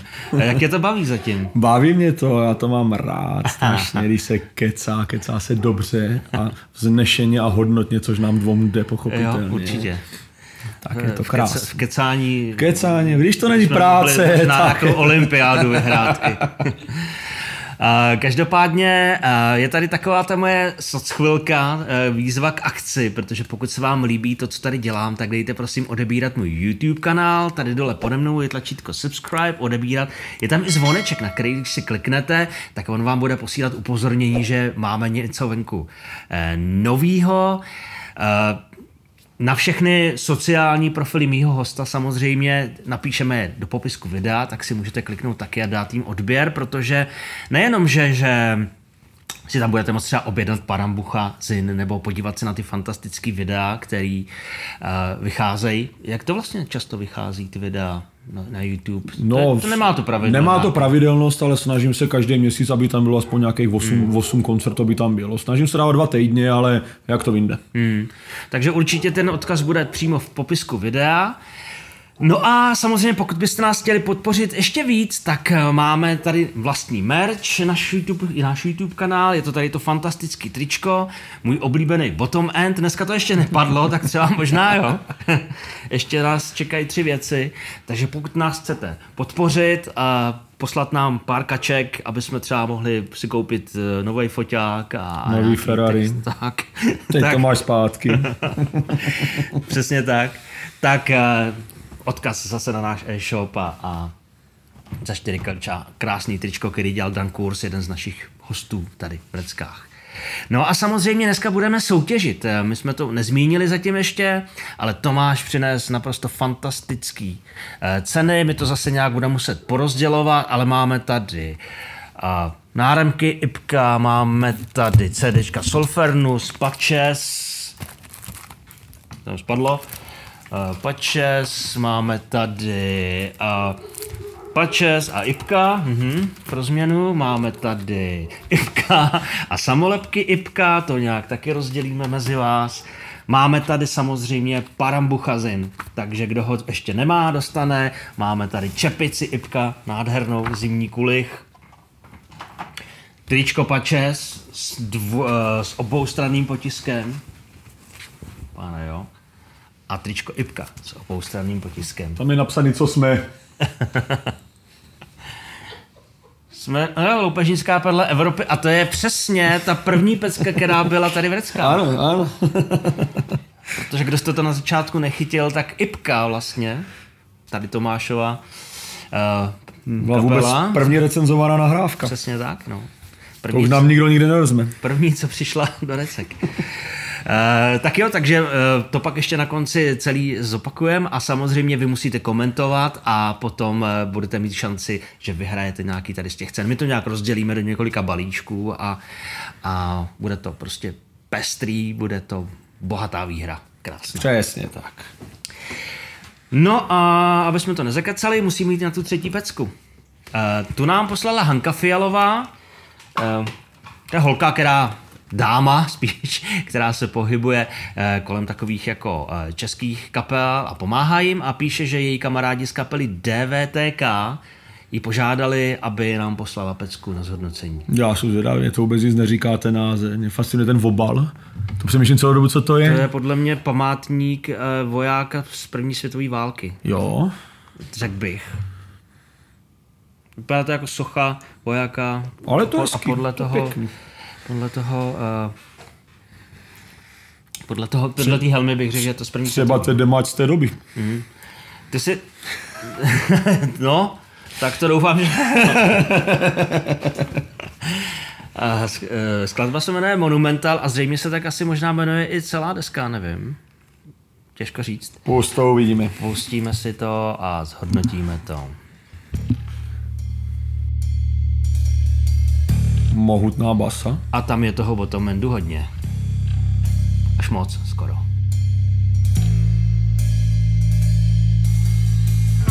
Je tam hodně o tom endu.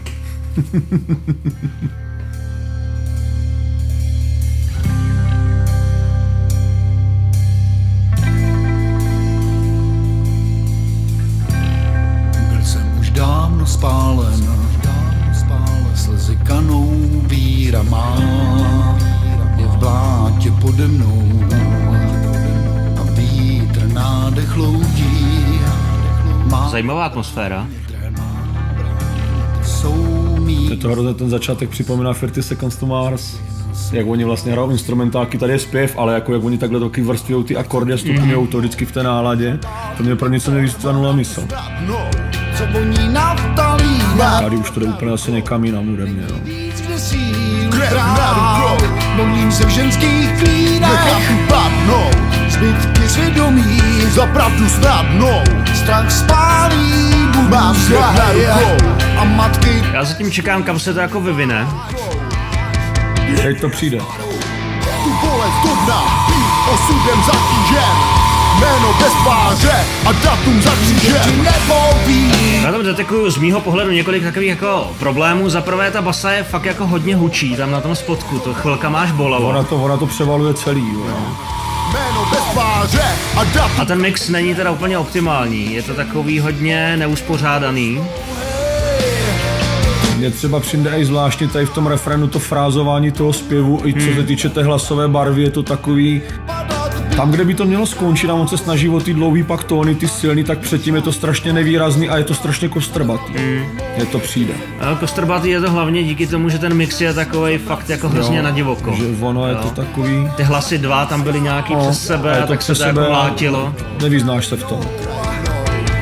linie zmaru Tu bolest být osudem zatížen Jméno bez tváře a datum za křížem Ti nepoví, je tváře Mně to zní jako, jako, jako demo spíš, než uh, něco, co bych uh, bral, jako že by se mělo lisovat na CDčko.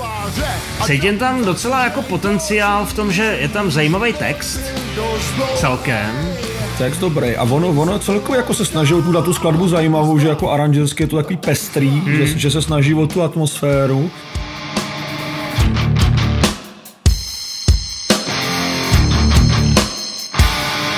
Pražský výběr.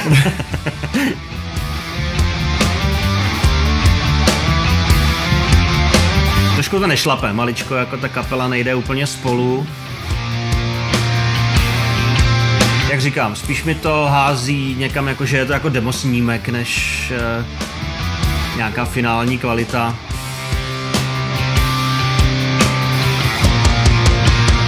Linie zmaru Tu bolest dna, být osudem zatížen Jméno bez tváře a datum za křížem. Ti nepoví, je tváře mrtvých bloudě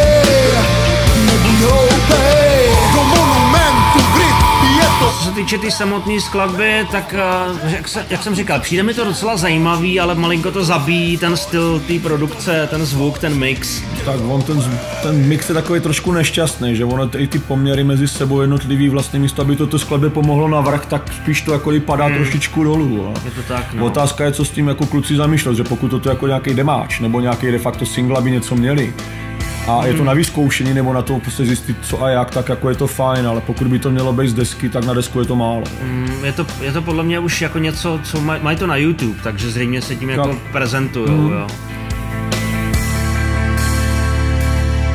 Jsou tam zajímavé pasáže,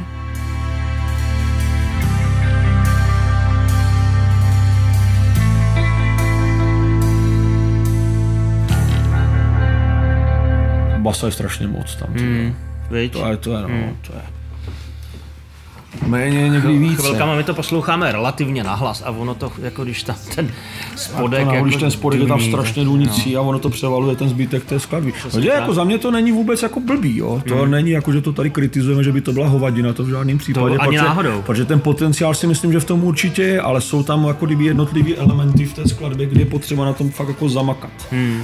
A hlavně chce to fakt výraznější produkci, protože zrovna toto je takový ten styl, takový ten grooveový, kde hraješ, pracuješ s atmosférou a pak když do nějakého toho nátlakového refrénu, tak tam to musíš šlapat jako prase, jinak ti to celý spadne pod tím hovnem. Přesně, a ten refrén to pak musí celý A rozsekat. ten, ten refren jo. to musí, to ti musí ustřelit hlavu. No, No, a, a ta kapela musí jít i spolu, prostě to je, je to takový...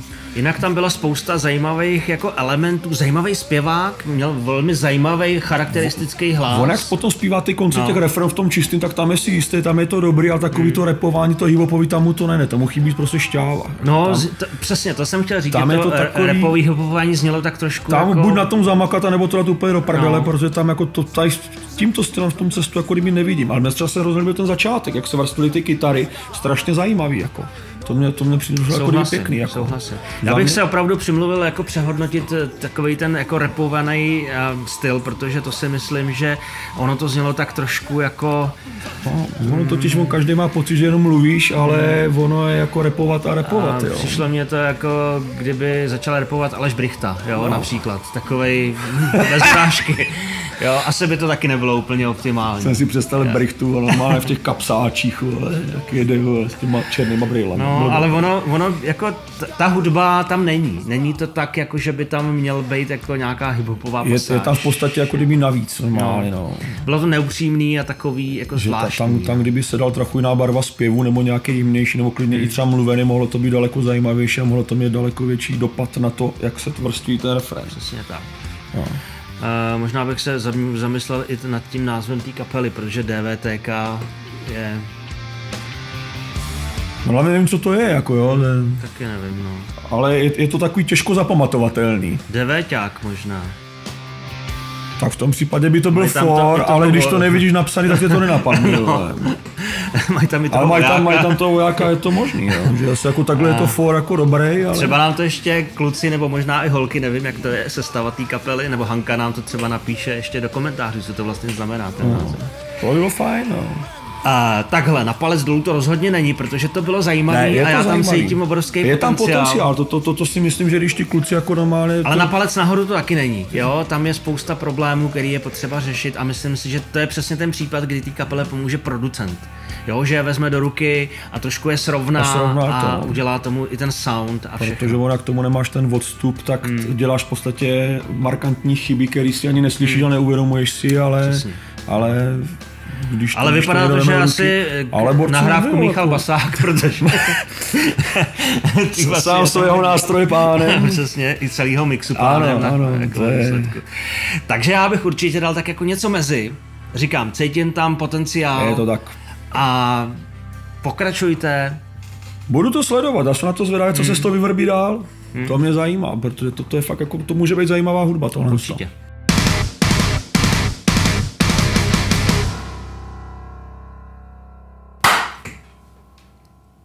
Já jsem čekal, jestli třeba tle- tleskneš taky. A máme tady čtvrtou věc, blížíme se pomaličku do finále. Tu nám poslala kapela 21 gramů. No. Píšou, že by byli rádi, abych se k tomu vyjádřil, tak dneska se k tomu vyjádří i tady kolega Tomáš. Aby byli rádi i potom. Uvidíme. ne, já jsem slíbil, že budu chválit. Ale vůbec nevím, o co jde. Já mám takový pocit, jestli náhodou už jsme je tady jednou neměli v Reckách, ale nám už se tady vlastně vystřídalo nějakých, spočítáte to někdo rychle, je to třeba jako 70 dílů po pěti, tak je to 350. 350 se vlastně kapel, nebo 350 nahrávek. Něco se- To je, dobrý, to je slušný číslo. Takže už si nepamatuju úplně všechno. Uh, tak si jo, tak si pustíme 21 gramů a uvidíme.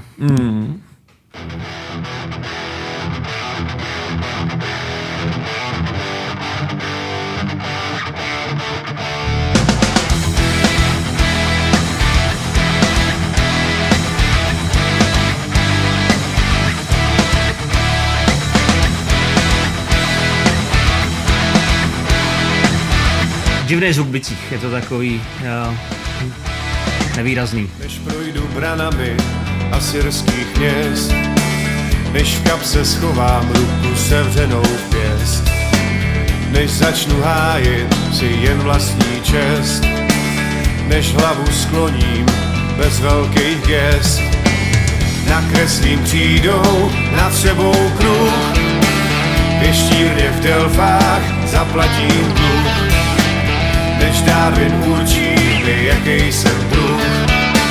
Ještě pár bouří pročistí vzduch, kdy přijde chvíle, pohnou se dál, ten poutník ve mně už dlouho spal.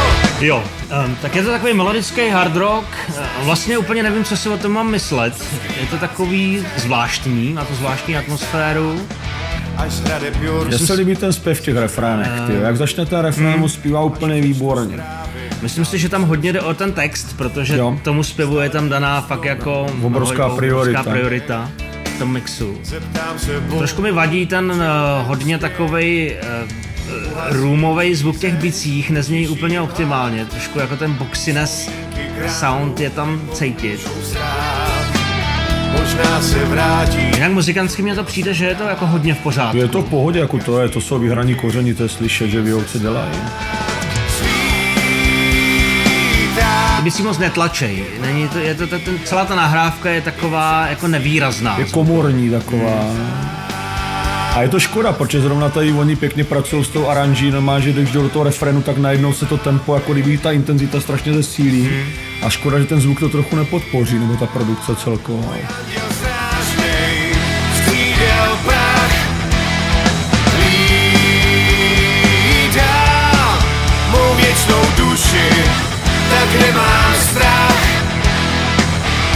To mě trošku připomněl Davida Kolera v tom refrénu, malinko.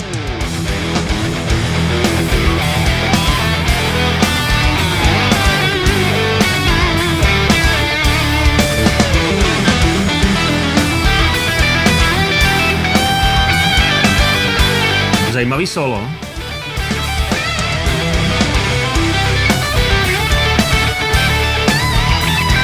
Ale zase ten mix, jako je to solo je tam tak jako zamíchaný, tak divně Ne, nečiní, ač by Nečiní, mělo, protože ona má fakt pěkně vystavěný. Tam Aha. jako ten kytarista to má hezky Ale je dobře zahraný, jako, to, A to je, tak, co slyším. tak oni všichni hrajou, to je slyšet, že to jsou dobří muzikanti. Ale škoda, že to je přesně ten refrén, kdy to má vygradovat a má ti to prostě, má to s tebou vlomcovat a On ten, škoda, on ten základ jede furt jako škoda, to není, ono, ono je to přesně tak, to je takové jako kdyby, je to škoda tady tohle z toho, protože ten refrén na to potenciál má. Je to fakt jak David Koller, ten barvatel Ale, on- ale on má, ale on má ale jako velice pěkný hlas, on si je jistý, je silný, jo, že to není žádný kuňkání, takový nějaký schovávání, prostě ten bor se to opře, je to tam, jako to je, to je vel, velice pěkný, jako. Jo. Uh, tak to byly 21 gramů. Uh, uh, Za mě velice příjemná písnička, výborně zahraná, krásně vystavený sol, i ty refreny mají hezky udaný, on tam má pěkný ty zpěvové linky, strašně to sráží ten zvuk no, v mých uších, že, nebo takhle, dalo se z toho vytřískat podstatně víc. Je to škoda, že ten vál je fakt dobrý. Jako jo, to, je, to, to, je, to je příjemná věc. Já právě, no, my jsme na začátku se do toho tak jako zaposlouchali. Tam bylo něco, co mě na tom jakoby vlastně se docela líbilo. A, a spíš jsem si říkal tak v duchu, jakože a vlastně ten zvuk mě tak trošku jako štve. Že je to takový jako, jako vlastně Hmm. To nevýrazný, nevýrazný. to unilý a celý, no. celá ta skladba jede furt vlastně jako v jedné rovině. A v tom se tak jako proplítá ty, ty zajímavější věci, které se tam dějou. To znamená zpěv nebo třeba to kytarový solo. Ale vlastně nic, eh, nebylo to něco, co by mě jako nakoplo. Nebo Ono díky vlastně... tomu zvuku vlastně to, co by mělo činit, nečiní No, a je to přesně. strašná škoda, protože ten potenciál tam obrovský je. Je to takový celý jako strašně Je. jako vyžehlený a Ale baví mě to, jak je to vystavěný, ta skladba, jak je to zahraný, je to super. Bylo to, uh, já si myslím, že tohle kdyby bylo, zase, kdyby bylo nahraný, nebo zahraný a, a zprodukovaný správně, tak si myslím, že Mohla by to být by pecka. to by mohla být pecka a určitě je to věc, která si svý posluchače najde. Najde, toto no. protože i, co jsem taky jako zachytil, ta message, ten, ten text a všechno, jako nic mě tam vyloženě Ne, jako nevadilo. Je to, je to dobře udělaný, Jo. to je, to, to je prostě akorát, pohodová akorát to prostě hrálo divně. No. A to je zase, to je věc, kterou já bych si už po druhý jako nepustil. Je to škoda. No. Hmm. A co s tím, no? Ne, já palec nahoru dám, protože mi se ta písnička líbí, jako Hmm. borci musíte zamakat na tom provedení zvukovým finálním, ale za mě jako jo. Tak Já Tomáš, to dám, já Tomáš to dává dám. nahoru, já dávám něco mezi. Dáme tam ale oba dva v tom hodnocení. Jo. Uh, myslím si, že tam jsou jako velký rezervy v tom, aby ta kapela se zlepšila a myslím si, že by to ale potom mohlo být fakt jako hodně Ono zajímavé. by to je zajímavý, jo, protože já si myslím, že oni hlavně musí zapracovat na té produkci. To je to, co tam pálí a bolí nejvíc, protože ty nápady tam jsou, oni tako fakt tam je vidět, že ti kluci vědí, co dělají a co chcou dělat, že to není takový to hledání a tápání se v nějakým stylu, jako kam tě to zavede, tak tam skončím. Že ti borci to mají krásně uchopený a krásně udělaný. Já si a... říct, že i podle toho, jak to, jak to vlastně bylo zahraný a podle toho hlasu, tak si myslím, že už jako to jsou To zkušený, budou starší zkušenáci, to, to, je z toho slyšet, že ti borci jako nějaký pátek už určitě hrají, protože tam, jako, tam se tomu hudebně nedá nic Tam jako to hudebně ono to vlastně jako to vězí v těch všechno 90. v pořádku, to je prostě to je takový ten big beat, přesně No. tak normálně, trochu zpátky, ale tak, říkám, mě, mě to baví, mě se ta písnička líbila, ale sráží to prostě, to, to je, ten zvuk je na tom bohužel jako velká vada na krás. Je to tak.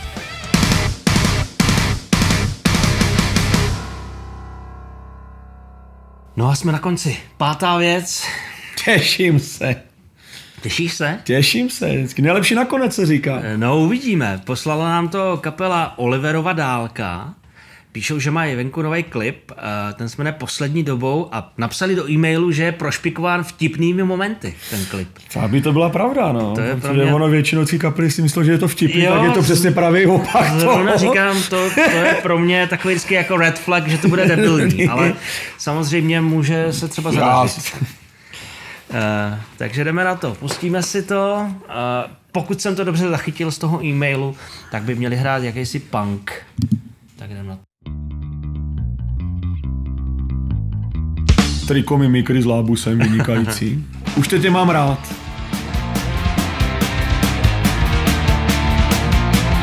Ježiš.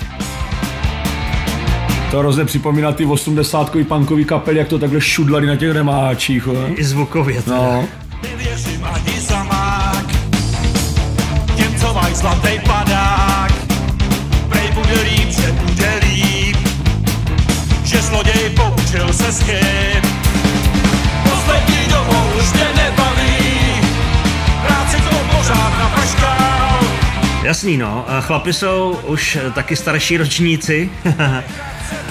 A ono to tak celý zní, má to Jo. takový hodně starý to sound. je, to je fakt jak z 80. No. jak kdybys to vítal, že ten, ten, ten přechod té nové vlny, tam, to místění té nové vlny s tím punkem, Ano. jak to bylo normálně tady v těch kapelách. Sago, A jako za Sago body navíc, ty ten nejlepší nástroj na světě.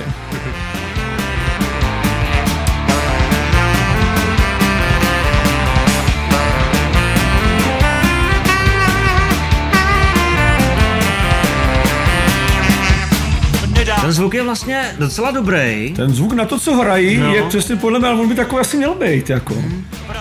Je to samozřejmě úplně mimo veškerý jako aktuální proudy, mimo vlastně Ne. moderní, dejme tomu vnímání zvuku. Myslím si, že ale samozřejmě tohle byl naprostý záměr. Oni Na mě to tak působí, že ti kluci to takhle No. chcou, že to fakt asi se vrací do těch svých dětských mladých let a baví je to v nich a je to úplně super.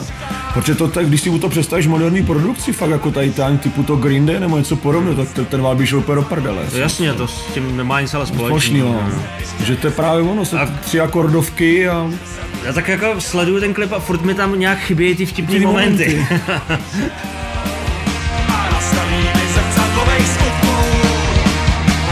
Takhle nějak podobně zněly první deska Tří sester, pamatuješ si to? Pamatuju si to, a to dneška mám rád, ano. no. Je to ta, zase. tak ona i ta hudba Praha z té doby vlastně na tom kontaktu. To, znělo ty kapely podobně, že no. všeli všechny podobně jako. Ty za mě asi nemá vůbec žádný problém, Já ti borci v tom, co chtějí hrát a hrají, tak je to normálně dobrý. Určitě. jo. Za mě je to OK. Jako v podstatě, jak jsem říkal, to se vlastně vůbec nedá jakoby srovnat s tím, jak se zvuk dělá dneska, jak, jak vlastně jsou ty trendy a, a co my tady vždycky řešíme. Ten zvuk byl vlastně dobrý, hrálo to Hrálo to pěkně, pěkně. akorát to znělo fakt jako 40 Je to, je to, let je to prostě nahrávka. 40, je to 40 let starý nemáč, no. no. ale jako kam za mě v pohodě. Hmm. Za mě úplně OK. Za mě taky. Vlastně k tomu nemám co říct, protože to k tomu se vlastně nedá nic říct. Ta skladba byla energická, bylo vidět, že to chlapi baví Přesně tak. a to je na to možná to nejdůležitější. Ale měli saxofon, za Měli ságo, ságo. za ságo já dávám. Já dávám taky palec nahoru, nejenom za to ságo. Bylo to dobrý, bylo dobrý. Partnerem Recek je Blackfin. Kompletní výroba merče, inovativní potisk digitálem, sítotiskem nebo sublimací. A to i v malosériové výrobě. Tak mrkněte na www.blackfin.store. Tak a je to za námi. Bylo to krásné. Je vidět, že Bylo to krásné, ale krátké. Jako já, já bych klidně ještě další dvě, tři hodinky poseděl. Uh, uvidíme, třeba se ještě zakecáme. No to, ono to je možné.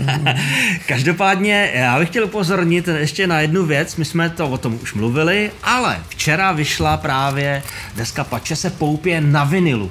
My tady máme v soutěži eh, tady to CDčko, ale vyšel, eh, vyšel vinyl a je eh, možnost si ho objednat právě na e-shopu, e-shopu Black Barn. Já dám určitě odkaz zase do popisku videa a nenechte si to ujít, protože je to deska, která je hrozně dobrá a je strašně krásně udělaná.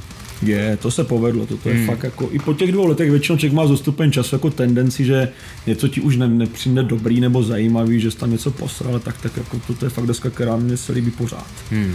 Včetně toho zpracování, protože fakt jako ten Chymo si dal strašně moc hmm. práce a hrozně pěkně to udělal. Jako tam. Jasně. To grafické zpracování na tom vinulu, právě až na tom vinulu vyleze a bude to krásně vidět. To je jasný, no, protože tady je to vždycky na tom CDčku zkomprimovaný do toho malého Proto člověk má rád i ty vinily, že to je velký. Já teda, já teda jako na poslech vždycky upřednostňuju CDčka. Já mám nějak jako radši i zvukově, ale samozřejmě ten vinyl je prostě artefakt. Přesně tak. Takže nezapomeňte, včera, vyšly, eh, včera vyšla, vyšel Patches, eh, deska Poupě na vinilu, eh, takže v popisku videa, pokud byste někdo měl zájem, běžte tam a můžete si ho pořídit. Eh, Každopádně my dáváme uh, tohleto album, tohleto CDčko do soutěže jako CDčko. Mm-hmm. A ještě si to projdeme ty ceny ještě jednou. Máme tady CDčko Pačese, máme tady zimní čapku Ipka, máme tady tričko Pačes uh, s dvojstranným potiskem nádherným, máme tady tričko Ipka, Ipca, jak říká Tomáš, taky s dvojstranným nádherným potiskem. Máme tady uh, tři takový ty rubber bandy, jak se dávají na ruce, kapely Ipka. To, je vlastně kroužkování fanoušků. Ano, přesně. Mm-hmm. To máme čipy a my je sledujeme a jak nechodí, hned jim to vytýkáme. Můžete vyhrát i poslední číslo Parambuchazine se skvělým množstvím zajímavého čtení. Je, jsou tam kapely Ferat, je tam rozhovor, s- rozhovor s Pavlem Pijákem se Sax, je tam, jsou tam Hypnos, je tam toho strašně moc. Projekt 13, Ne- Nedávno tu byl Matěj Lipský u nás v Reckách, takže je to všechno propojený. Ta scéna, Je to všechno neuvěřitelné. A je to právě krásný, že to je propojený. Máme tady Ipka CDčko, z kterého je skladba, která odpálila vlastně celou historii Recek. Jsou tady samolepky Ipky, to budeme přikládat potom nějakým... Je každému a- něco přihoď. A samolepka nádherná pačese, takže my to tam nějak rozdělíme, mám jich tady několik samolepek, takže to tam rozdělíme. Uh, ještě jedna Ipka, Pačes, starší album, To je starší, Zoigo, mini Zugabe ano. a Solfernus, skvělý album. Takže vidíte, o co hrát. Jediný, co musíte udělat, komentovat tady pod videem, psát třeba vaše vlastní recenze, píšete skvělý občas recenze, je to skvělý, že se do toho zapojujete a dáváte těm kapelám ještě feedback ještě z vaší strany. To je nějaký důležitý. Hmm. To je dobrá věc, to dělejte. To je krásné. Můžete třeba napsat, jak se vám líbil náš městní host? No to napište, že jsem se vám líbil, jinak si se přejte si mě. Já si vás najdu všechny, jmenovitě. Pozor, je to strašný mafián a hlavně oni jsou vlastně ty loupežníci žištotlu, že? Přesně tak, no tak znáš s Karlem Janečkem, že jo, tak ono to jde samo. Hele, prostě to jsou strašní mafiáni, ty muzikanti. Je to tak, no, tak, jak se říká padouk nebo hrdina, my jsme jedna rodina. Každopádně a my to máme dneska už za sebou. Já myslím, že jsi to docela užíval. Bylo to fajn, já to mám strašně rád. Já moc si- krát děkuji za pozvání, byl jsem tady moc Děkujem, že jsi rád. přišel, bylo to zábavný. Byl jsem tady moc rád Bylo to- bylo to doufám, zábavný. že se to bude lidem líbit. No to ti dají pak vědět, oni napíšou potom Recku na tebe. Já ty špatný mažu, já to hnedka. Jo, Typický český muzikant, nechválíš, nesnáším tě. přesně tak. no jo, no, ten život není jednoduchý. Je to těžký. Eh, Každopádně, ještě jednou díky moc, bylo to skvělý. Taky děkuju. No a na závěr už tu mám eh, zase takový ty svoje věci. Pokud se vám líbí to, co tady dělám, mý hosté, Recky a vůbec celý ten koncept našeho YouTube kanálu a chcete nás podpořit, tak dejte samozřejmě odebírat můj YouTube kanál, tady dole pode mnou, tlačítko subscribe, odebírat tam zvoneček, ten vám řekne, že venku něco novýho. Eh, Mrkněte na všechny moje sociální profily jiný, máme Facebook, Instagram a tak dál. I eh, socky mýho hosta dáme všechny do popisku videa. Pokud se mezi váma najde někdo, kdo nezná prostě Tomáše Řežuchu alias Parambu, tak eh, nevím, asi jste žili na Venuši, ale A najdou se takový, je to se divný, to, a může, najdou může se to pořád. stát. Takže pokud budete chtít eh, Toma poznat líp, tak samozřejmě všichni Ano, odkazy pokud tam. chcete mě poznat, kdy přijete do Brna, vemte láhev dobré vodky a Tak, na koncert Ipky. Kamkoliv vypijem Pače se. Uh, uvidíme tě vlastně na nějakých českých festivalech uh, teďka. Já nevím, letos? celkem jako máme nějaký festivaly a s Pače jsem hrajeme jenom jeden, takže jako někde se určitě potkáme. Hmm. Koukejte po stáncích s alkoholem a já jsem většinou spíš jenom tam. Jo, je to prostě, jak říkám, tvrdý život. Tež. No a pokud nás budete chtít podpořit ještě víc a budete chtít třeba utratit nějakou kačku a aby my jsme mohli třeba koupit nějaký nový vybavení na natáčení recek a vůbec na rozvoj našeho YouTube kanálu, tak samozřejmě tady máme skvělý tričko Barment, Uh, je to vlastně založený na takový tým oblíbený hlášce, je tam moc toho bottom endu. Takže jsme z toho nechali Dana Kurce vyrobit nádherný tričko. Odkaz opět v, podpis, v popisku videa, můžete si to pořídit za pouhých 400 káče. Vám pošleme tady ten nádherný triko. A to je pro dnešek už úplně všechno. Tak to je tak. Peklu zdar. Peklu zdar.